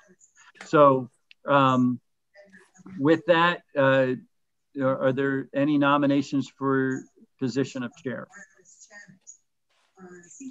I vote for Carol. what was that win she did? I'll go for What, that. what is the role of the chair? So the chair would just be the one who works on mostly making sure that the, we'll be working on making sure we have the agenda set each meeting of what we're going to carry. Um, the chair would also preside over the meeting, kind of do some of the things that I kind of did tonight to get us started, but would do the call to order, would do um, all of those things, make sure that everybody's here um, and, and that kind of thing. Um, and then uh, would you know, typically the chair's the one who would call for a vote on things, those kind of things. Basically, is the person who runs the meeting. And we're following Robert's Rules of Order, I'm assuming. Yeah, I mean, we follow it pretty loosely to be to be real honest. I mean, if it becomes an issue, Robert's rules rules, you know, is is the is the thing. But you know, we don't get too caught up in it typically. Um, you know, I would say that uh, you know, if it comes down that you're making a decision, you know, we will make sure that you have a quorum, uh, you know, and that would be three for this group. You would have to have three to have a quorum for a meeting to be official. Um, you couldn't do anything with just two. Um, if there, you know, if there is any um, uh, thing that came up that, you know, was an emergency, we would have to figure out what to do. But, you know, uh, we, fortunately enough with covid we can do the meetings like we did tonight. Uh, eventually we'll have to do in-person meetings um, and, and that would be that sometimes it makes it a little bit more difficult for people. Uh, but Mhm. but you know right now as long as the governor has the state of emergency in place we can do virtual meetings for as long as we need to. Uh, the chair would you know like i said the chair like i said calls the meeting to order runs the meeting and is is ultimately responsible with the staff to make sure the agenda is set properly for what you want to co- cover during the meeting.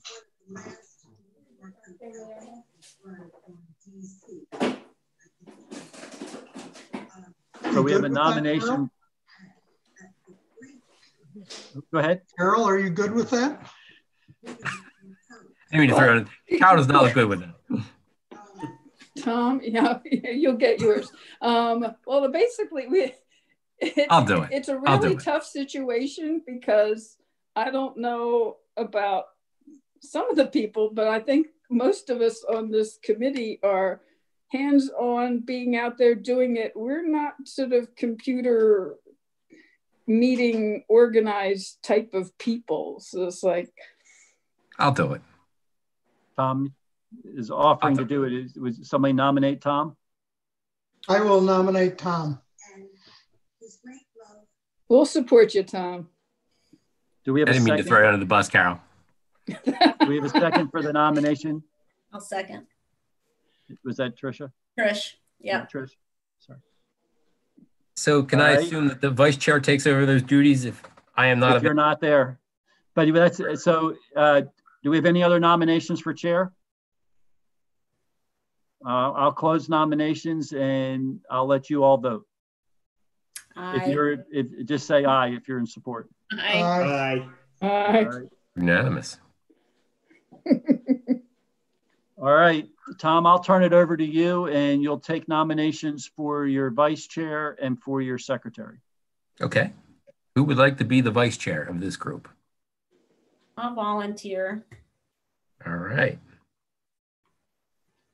So we probably need somebody to go ahead and make a nomination of that uh, and then, Uh, so I- everybody, nominate? Yeah, I nominate Pat, Trish. Trish. Pat's my brother.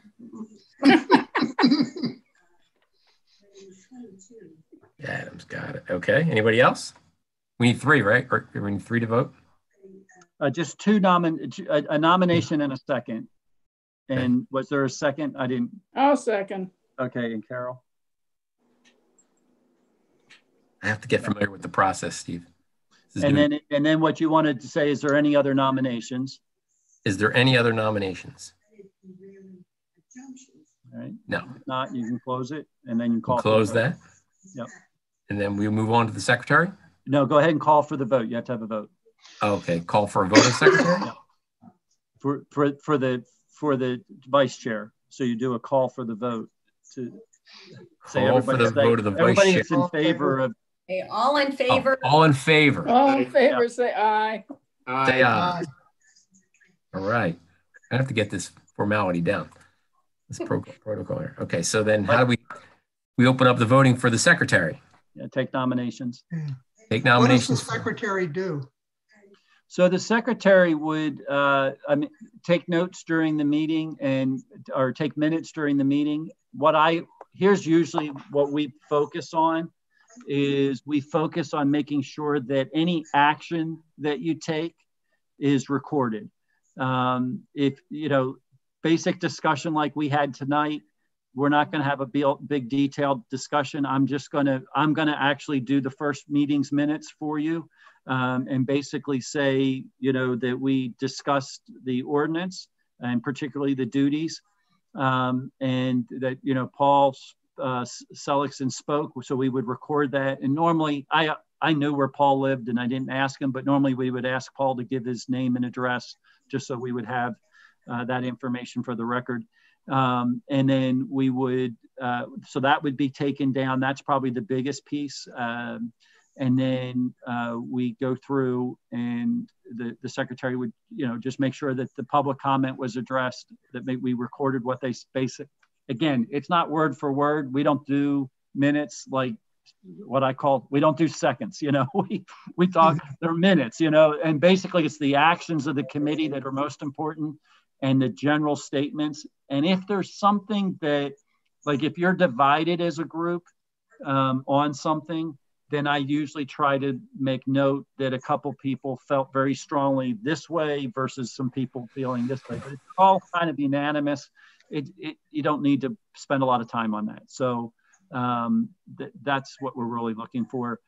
I would tell you if you looked at the minutes that we do, we have action items in on our agenda, and they're pretty straightforward. And you look at it, the board voted and approved, and then we we make a little bit more detail um, for what the public says, just so that we make sure we, you know, we get the right gist of what they're saying.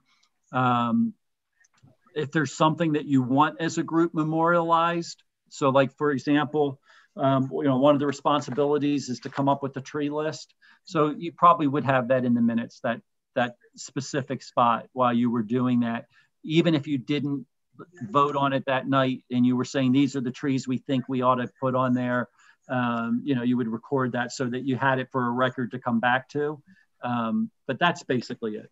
It's it's a pretty easy thing. We do use a software uh, that we keep our minutes or our uh, agenda and our minutes in, but it's a very simple software, and each one of you will receive a log on to it um, so that you can get in and see the agenda. It allows you to see any documents that we attach to the agenda. Uh, so, like tonight, um, the uh, ordinance was attached. And so that would be there and you could click on it and it pulls up the whole ordinance for you. Um, the, uh, and if, if for example, you know, you're looking at a permit, then the permit would be attached. You would see it and any other documentation that came in with it. Uh, if staff had been out and reviewed it, they would give you that as well. And so, uh, and then all of that transfers over to your minutes. You don't have to retype it. It's just, it's all goes with it. And it's, and in some cases, it's just literally recording the vote.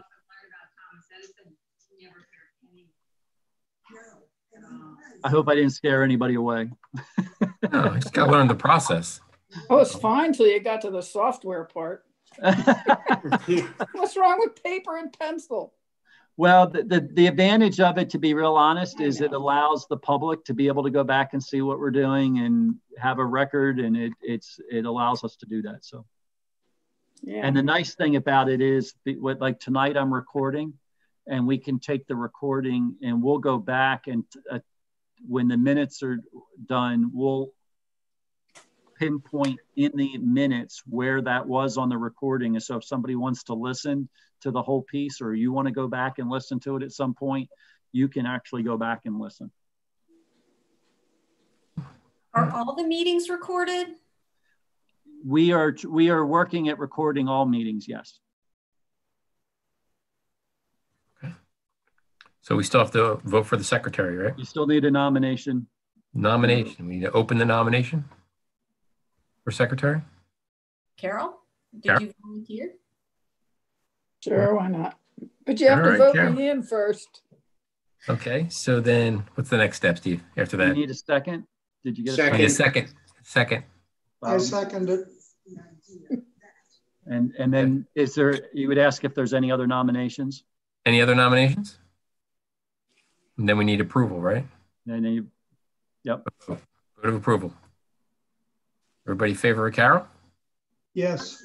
Aye. All right, Carol it is. All right. So you're all set. All right, it's official.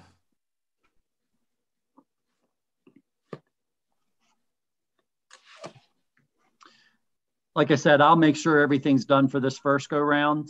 And uh, like I said, we're not, you know, the biggest thing we wanted to record coming out of tonight was who you selected and uh, to kind of lead off and set the direction and then uh, that. So the other thing that you probably want to work on uh, before we uh, adjourn for this evening, uh, knowing some of the duties that you have and knowing what we probably need to go through, I might suggest setting up if you want to have one or two more meetings before the end of the year to kind of start, you know, get things kicked off, particularly if we're going to try to do some communication uh, for out in the beginning of the new year.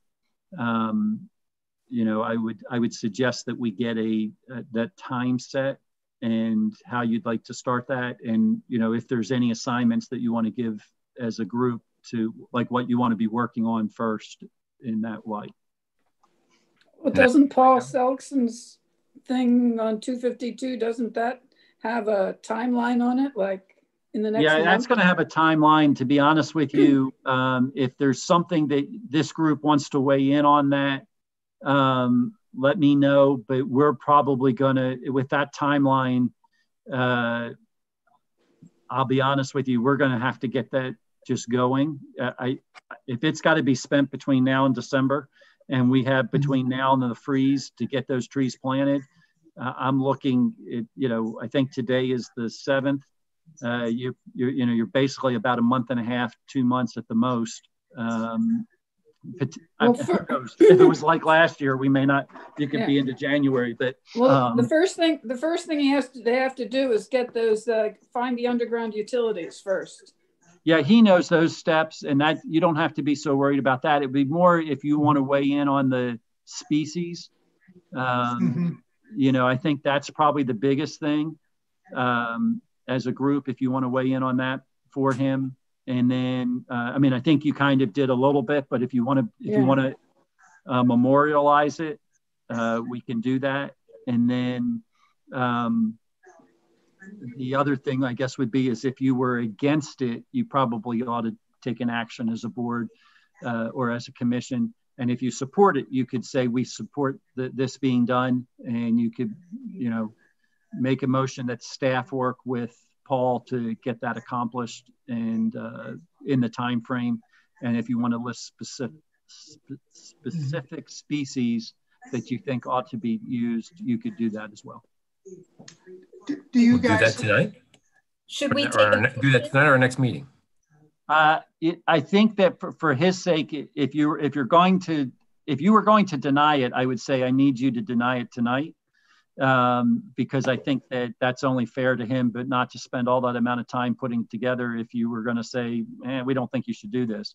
Um, if you are going to support it, I think I would go ahead and say we're supportive. If you want to, if there's something species wise, I'm thinking he's going to have to order those trees. I'm, I'm not a, you guys who do this for a living, you can tell me, but I would think he'd have to get that kind of done pretty quickly uh, if he's going to do it in the next month. So Yeah, 'cause There's a lot- there's a lot of- now. There's a lot of nurseries in the area that will pro- provide. There's even like Harmony Hill, they're in the ground. You can dig them out in no time.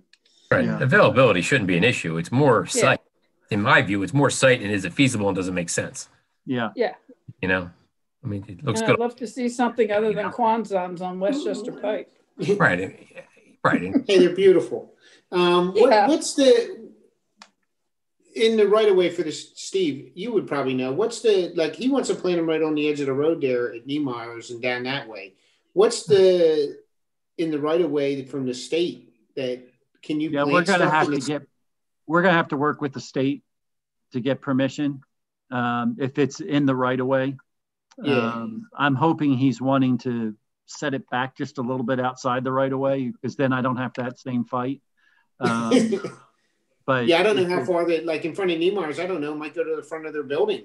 Who Well, knows? that's the thing. I don't know either. And I, I think Niemeyer's is going to be a tough one to be honest with you. Period. Right. I, I there's just not a lot of room there to begin with. Without well, it. there's not a lot of room, and I think most of it's it's concrete and, and asphalt. I don't think there's a lot of space there. So I think you have to start with the spaces that are green, you know, that you can plant in. Start with Agreed. that and then work maybe on the next step on Niemeyer. based on the fact that he's you has five thousand dollars to spend, if he planted in the green space, I think he'd be out of money. Exactly. Yeah. I, I mean, I'm Unless you get If- unless you get someone donating trees to you. Some nursery Or- has them and they want to get Or rid time. of them. That they're or time, and I just don't think. I, I mean, normally I would, um, normally I would volunteer that we would come out and get the backhoe and dig the hole or whatever needed to be done, and you know, if if it was a big hole like that that needed to be done, but I. I can't even do that right now. I am shorthanded on the public staff group. I'm down two people right now. So do we need to make a motion to accept Paul's? I would Uh, think so. I, I think if we wanted to memorialize it, that if you, because it really is right on, it, it really is a street tree, it falls under your area, I think you should make a motion to accept it. And then if you want to specify, um, Maybe we could come up with three or four trees that we recommend yeah, that Well, I are. also hopefully would say his uh, his probably for the green space. I don't know about there. I think there's a lot of legality issues and like trying to get him in the parking lots of like, you know what I mean, of Niemeyer's and stuff like that. I mean, I think that's would be in the future. I don't think you could do that. Even get in contact with the state and get something approved before the end of the year for that. I mean, it's one thing on the other side, Cabela's, it's up on the hill and stuff like that. Where the old I, houses I'm thinking that's a no brainer.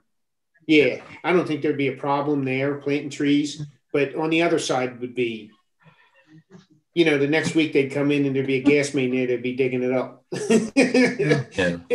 Well, he, he only has five thousand dollars. I mean, we could, he could go through that just planting spots where there's actually grass now, Yeah, as opposed to trying to go through macadam or concrete or something. Right. That that's a nightmare Yeah. trying to do that.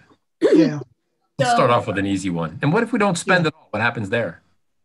I, I mean, I mean, Boiron probably, I, you know, I think Boiron, you know, is wanting action to be taken. Um, you know, my guess is they probably have a uh, a desire where they want, you know, corporations have monies that they give for these kind of things, right? And so um, they probably have some people that have come up and requested something for 2021 that they're committing to, and so that may be one of the reasons. Uh, you know, because I do think Boiron is very interested in being a good neighbor. They've they've done some really great things for the community already. Um, and they just so everybody knows they're in camp on Campus Boulevard. They're at Ford Campus Boulevard. Uh, they're a homeopathic company that's there. Um, they've they've sponsored uh, some events like uh, the music in the park and uh, have done some other things like that. but they are also very environmentally concerned and friendly. And so I'm sure that they said that we, we would do this, but they they have a budget cycle, and my guess is that mm-hmm. they may have dollars spoken for next year, and so that's what they're looking for. Well, if, if, if he can't find money, if he can't spend all the money on 252, he could always, whatever's the remainder, he could always spend it on Goshen Road, which is a much easier uh, road Melvin place to Circle. work with. Yeah, the, the question would be whether or not, to be honest with you, the question would be whether or not Boiron would allow it in those locations. He, they may have said we want it either on the main fairs or, you know, like I have to find that out. I don't know. I didn't. I didn't know that Boiron had agreed to this, um, but I'm not surprised. I, I mean, they're they're very community oriented. Well, buying buying the trees and then getting someone to plant them, I don't think you're going to get many more than five trees for your five thousand dollars. That's why I'm saying I don't. If he if he has a commitment to five or seven spots, my guess he's probably spent all his money. Mhm. So I'll make a motion to accept Paul's planting plan. Do we want to um, specify that in the green spaces for now? Just, or do we want to include the, the proposal as proposed? Why don't we Oh, sounds recommend almost- they use the green spaces? Green spaces. okay. So uh, I make a motion to accept Paul's proposal for planting in the green spaces for 2020.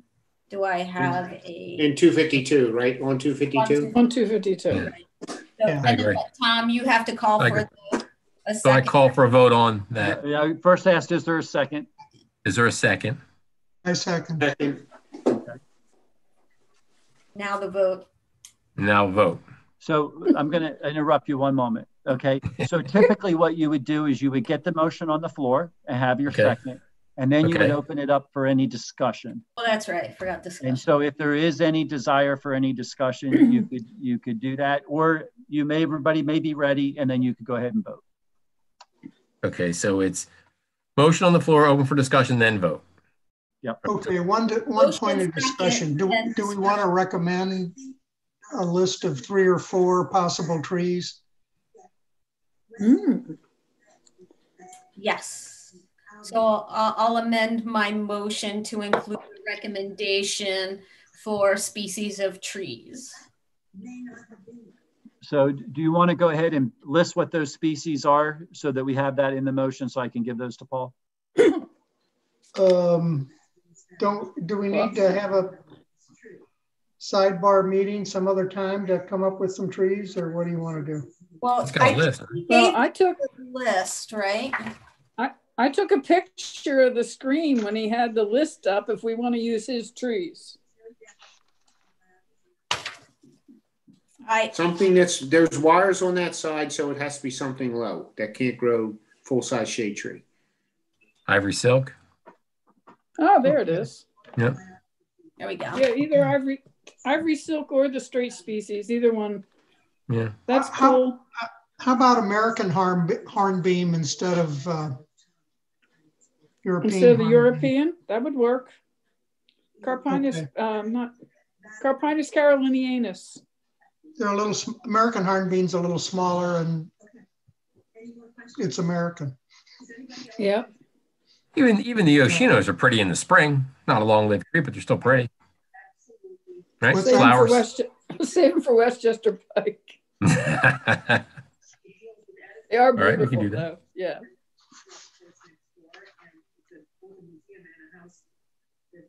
okay. Even if, even So something do like we have magnolia. consensus on a, on a list on, on what trees we're gonna recommend?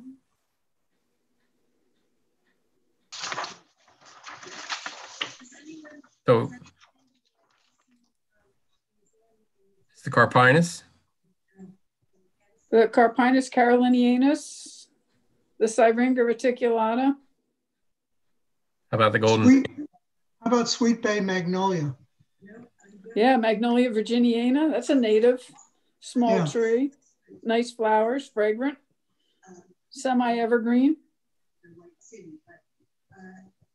Oh, We typically don't plant them out in the open though. Well, some hmm. of the newer cultivars are pretty tough.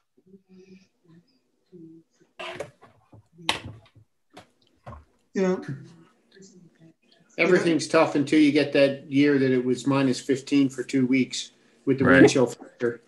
I seen Right. hollies that were down in Springfield that were, you know, 50 years old, smoke out and didn't come back. It was on. so okay, Right. how about Stewartia? Good choice. I like Stewart. No, You like that, Carl?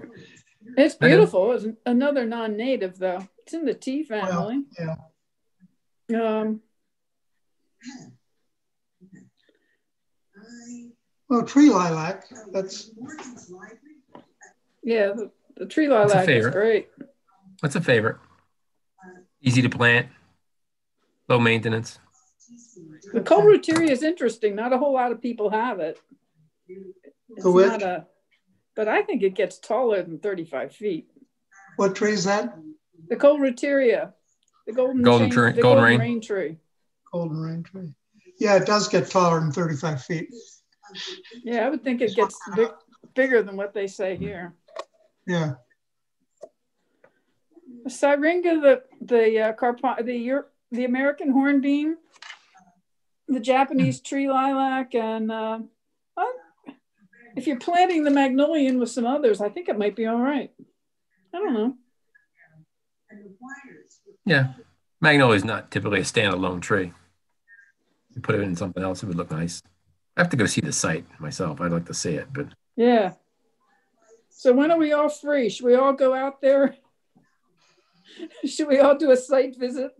That's what we Okay. do at So work. here, here's what I would suggest then. If you're going to do that, and so that we're not going to actually list the, the four or five or whatever you're going to pick, three or four uh, tonight, just state that you're going to pick four species that you will come back and give to him um, a- as a basis for him to use. And that way, um, when you go do this, typically we need to do it on the record um, and make it at a meeting. But if you're going to go do it and just kind of do it around for just the purposes of the species, I think we're okay uh, for this situation. Uh, but you're saying what I'm hearing you saying is you're okay with the with the with the project, and and we're saying we're supporting that. And what I also hear you saying is that you want to give him preferably uh, three or four species that are um, uh, native uh, non-invasive, uh, Ones, ones that he won't regret. ones that he won't regret uh, in that Planting, location. yeah. But you want to go take a look at it, um, but you don't want to hold the project up. And so you'll give him suggestions of what they should be. Is that a fair statement, what you're wanting to do? I think so. Yes. Yep. So I, I believe, Trish, you said that you were, that's how you wanted to amend your motion. Uh, John, are you okay with that amendment? Since you second, John. You mean I second. Yeah, are you okay with the, uh, with the uh, amendment?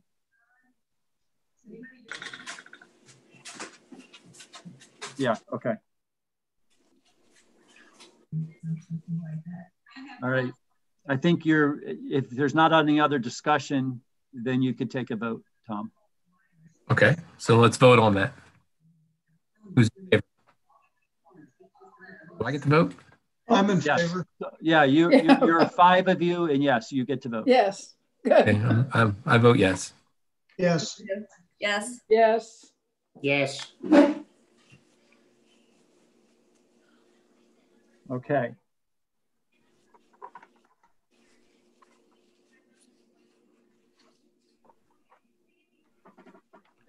I think the only other thing that um, I know probably needs to be set tonight is when you would like to meet again.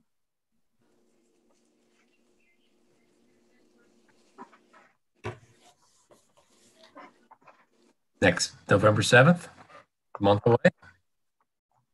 Is that November. close to the election? When is Yeah. the election? Four days after. Four days after.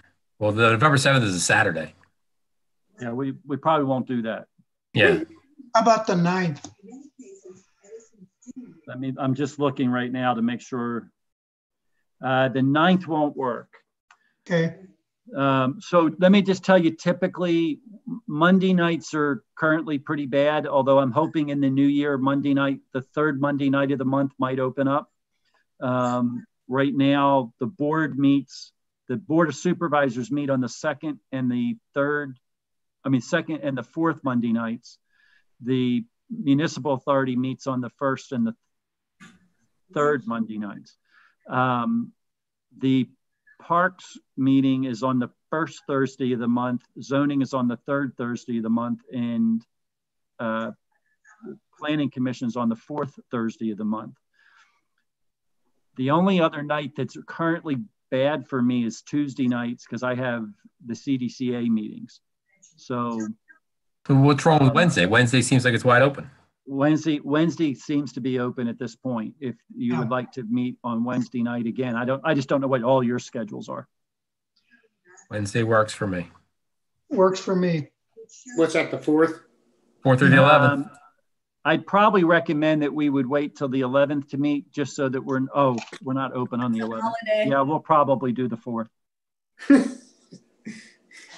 I was just saying, I would have done it the, not the night after the election, just because sometimes it's just hard, but um, I, I think that we're not open on the 11th because it's Veterans Day, so, um, and I try to not make the veterans angry, so I, I don't, we don't typically have meetings that night. So So we'll do the November 4th if 4th. everybody's okay. Well, it's good for me. Yeah. works for me. Yep, Zoom call at six thirty again? Is that good? Is that good for everybody? 6:30? Mhm. Yes. Mhm. That's fine. And how, how long typically are our meetings? You know, I'd like to get it to the point for most meetings that you're probably not more than an hour and a half. Um, I think that y- y- if it, I have a, I have a philosophy typically when they go much longer than an hour and a half, they become dysfunctional. Um, that's just my personal, th- I actually believe that after an hour, but I, I, I understand government doesn't work that way. So So as as chair, I have control of that, right? you do. Um, and They will be had- they will be an hour. They won't be concise to the point. Move Yeah, on. and that's fine. I think I the biggest issue in the beginning, because you're probably trying to think about how you're doing communication and you're looking at coming up with some things, you might be a little bit longer. But I think once you get going and you're doing your normal meetings, I can't imagine that once you get really running, that you won't, and you get your species down and all of those kind of things. I would think that most of your meetings you could do maybe even in 30 minutes if you're looking just at reviewing somebody's, you know, thing. You you know you come in, you review the plan, and you look at their what they're trying to do, and you say, "Yep, that's a that's an easy one. Let's move on." Or, you know, if you look at one that's a little needs a little bit more discussion, and maybe you say we need to meet on it again. You know, you're you'll have that opportunity. You know. Now, are, are we allowed to contact each other email? you, you are what you can't here's what i here's what you can't do you're you're a township board and you need to act publicly for any decisions that you make. And so that's important and we need to do it so that the public can be a part of it. Um, and so and when you're having deliberations you need to do that publicly. Um, but if you share, you know, if you just say, I'd like this on the agenda, or here's something I found that maybe we should discuss the next time we meet, that can be done. Um, what I often recommend for a new group like this, as we get started, if you will send the information to me, I can send it out to the group. And then I just always say, please don't respond all on the on the email. And that way we keep from getting a deliberation kind of going forward. That's the only thing you have to watch for. Because if, if we wait a month on giving species to Paul for his planting, No, I, that's why late. I said that you would go ahead, that you're going to go ahead and meet together, find some species and just, and just make some recommendation to him directly. so Um, we can, we can do that email among ourselves, right? Yeah, you can do that email among yourselves. I think it, All right. because, because, because it's your first time out and you haven't picked species yet, I think that that seems reasonable.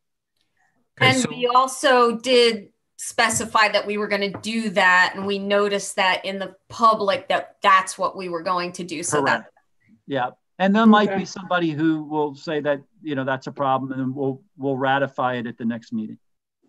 All right so since i have his information you want to, everybody want to get together and send it to me and i can convey it to him? Mm-hmm. are we going to do a site visit or was that just kind of like? No i think it's a great idea. Even if we go you know do we all we go to all meet or just separate? If you are going to do a site visit more than three of you at a time, please let me know and I will advertise it. Just so that you will have a what? If there's more than three of you who are going to the site visit at the same time, if you will let me know and I will advertise it so that it so we don't have any issue of somebody thinking that you're you know doing having a meeting and carrying something on i can make sure that it's publicly been stated that you're doing that. How much notice do you need? Um, I think we have to have it in by one o'clock of the day before it goes in the paper, I think is now the cutoff. And it should be in the paper 24 hours before your meeting. So if you're going to be on site at like 10 o'clock on Thursday, then I need to have it by like one o'clock on Monday. So then, because of Paul's tight deadline, um, I, I would volunteer to skip on that so that if you wanted to keep it a smaller group, I'm fine with that. And I'll take place the next next go. I mean, I know exactly where everything's going, so I have no problem with. I mean, I know exactly in front of Gentili's property because I we do work for them. So, and then Cavello, I know the the site next to them. So, I mean, I I know the site where he, he wants to put the trees, so I don't have a problem with it. I mean, whatever you guys decide. I mean, a tree's a tree. It doesn't matter who it goes in there to me. You know what I mean? As long as it's not like a you're putting a red oak there, it's going to be up in the wires, and you know, PECO or Asplundh's going to you know, put a make a V shape out of it. You know what oh, I mean? Please. Sorry. I can I can run. You know, I want to go see it. I just for me always it's good to have it there. Make sure nothing's changed. Don't take it for if granted. If you do it individually, there's no problem. If you do it as a group, I just need to make sure I publicize it. Okay. Okay. Okay. okay. You know, if, if you go if you go look at it on your own or two of you go look at it. If you want to get together and go do that that's fine. It's it's when you do it as a group that i have to make sure that i publicize it. Okay. yeah. well i'll well, go with you okay john. Hey yeah that's right. You're retired right? So you have time? I can call you we can meet over there? Yeah. Great. do i have all your contact information I don't know. I, I don't have the other people's contact information. So so what well, I'll do is at the end of the meeting. I'll go ahead and uh, I'll copy and send that to each one of you. Uh, I'll I'm going to send it to you all as a group, uh, mm-hmm. the contact information that we have, and uh, that way you'll have it. Okay, great. Okay. Okay. I'm good with that. That works. Carol, do you want to be a part of it, right? Sounds cool. I I don't get out of work till three, so. Okay, so. Well, Carol, if I I, I don't get out of work until late as well, um, but if two of us can go, I I'd be happy to go with you if you wanted to. Sure. To... Yeah, that works. That way we don't have to public, publicize it, and John and I can go, and then Trish and Carol can go. And yeah, because we're usually looking to see what car is trying to merge in because nobody knows which lane disappears when you cross West Chester Pike. I'm not usually looking at where to plant a tree. So. right. it's true. Park in the school parking lot and walk over. Don't try to like, yeah, that's the best the road or pull into Cavello's. Cavello's. You get run over or rear-ended or. I might yeah, need right. something at Gentili's anyway. The one the one thing I would say is because of what you're doing and you're near the road, please always be very careful. And if you're going to be out near the edge, let me know. We'll get you some yellow uh, vests to wear, just to just so that you're seen. You know, if you're if you feel like you need to do that, but if you, I mean, your safety is way more important than putting in a tree. I mean, as much as I think it's important, your safety is the most important. And we can identify ourselves, or we have to ask permission to walk on their property anyway, right? It's private property. Correct. You Right. should. Yep, Okay. absolutely. Okay. Okay. It works. Do we have a map of where the trees are? I mean, it was up here before, but I will send you what Paul sent me when I send you over your contact information. great. Cool. Okay. All right. All right, I'm good. So I'm going to, do you think you'll want to meet in December as well? Probably. Why not? It won't hurt. Yeah, So I if- think we do. So What are are we you going to be doing? Christmas? Can't Christmas shop? Might as well. it will help me in saving some money to advertise if I advertise two dates at the same time. Why don't we, why don't we set up for Wednesday night? The first Wednesday of December as well. Uh, can we do the second? Usually I have to close the month. That's late for me. All right, the ninth. That works for me. Marvelous. That's good. Yep, okay, fourth and, and the ninth. Yep. All right, I'll go ahead and get that. I'll, I'll, I'll have, we'll advertise that. Um, when I send out this email, I'll include Suzanne. And uh, she's our office administrator, administrative services director, I think is her new title now in HR. And uh, so uh, we are bringing somebody else in that will probably end up taking over this responsibility uh, once he gets here. But until then, I'll have I'll include Suzanne. I think you probably have all heard from Suzanne. She was the one that notified you all that uh, you were uh, selected for this, and um, so uh, we'll we'll have we'll just get that. It, it's a great place to start funneling information back through uh, initially, and then Suzanne will be getting your information about how you get onto our uh, uh, agenda software so that you can look at Oh, yeah. everything and that you have that ahead of time. And whatever the software is, I need too. Yeah, no, it'll it it's it's really pretty easy. It's web based. It's it, it, you know, and if you have trouble, we'll work you through it. I mean, everybody, all our committees use it. So, okay, Right.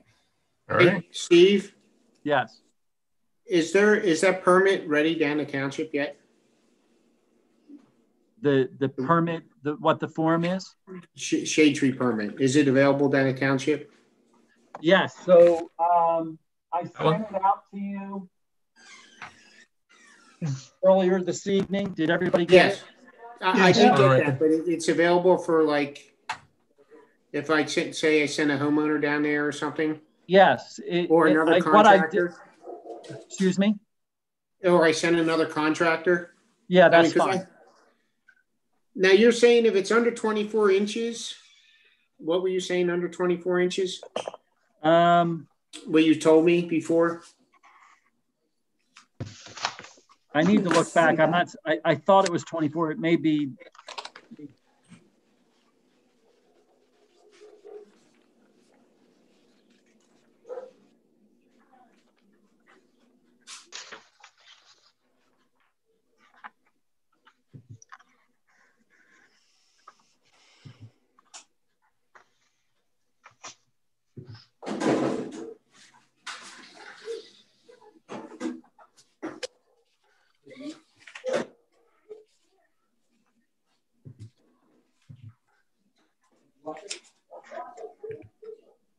Of course, I can't find it right this second. I'll let me find it for you, and I'll get back to you what exactly that is.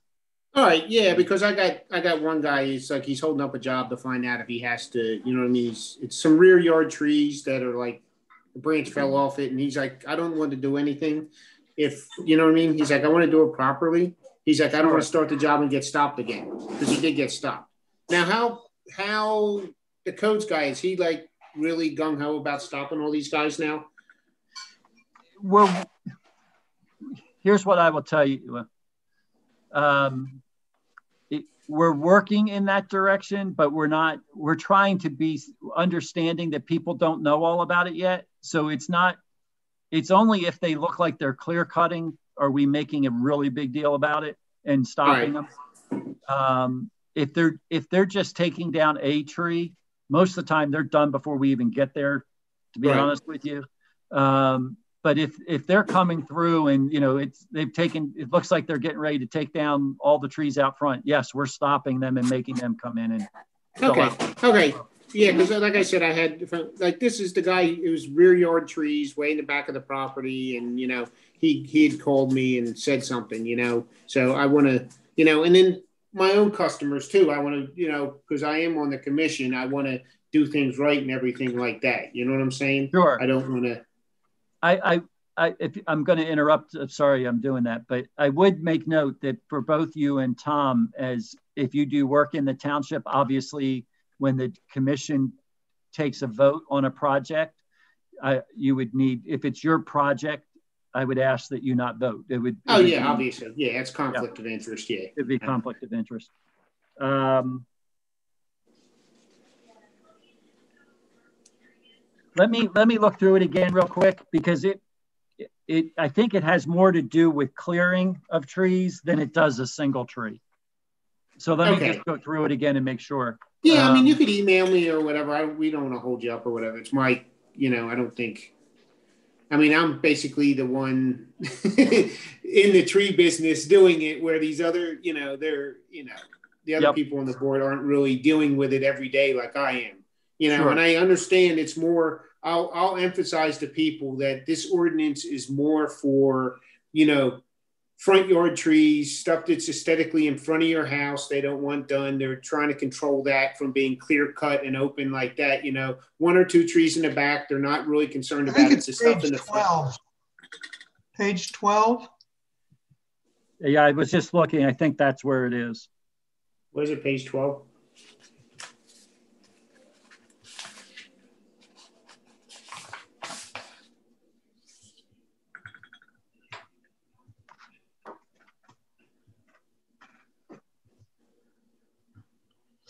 Hey guys, I, I know that we've been at this a while. I've been literally in front of a computer and on these video calls since about nine o'clock this morning.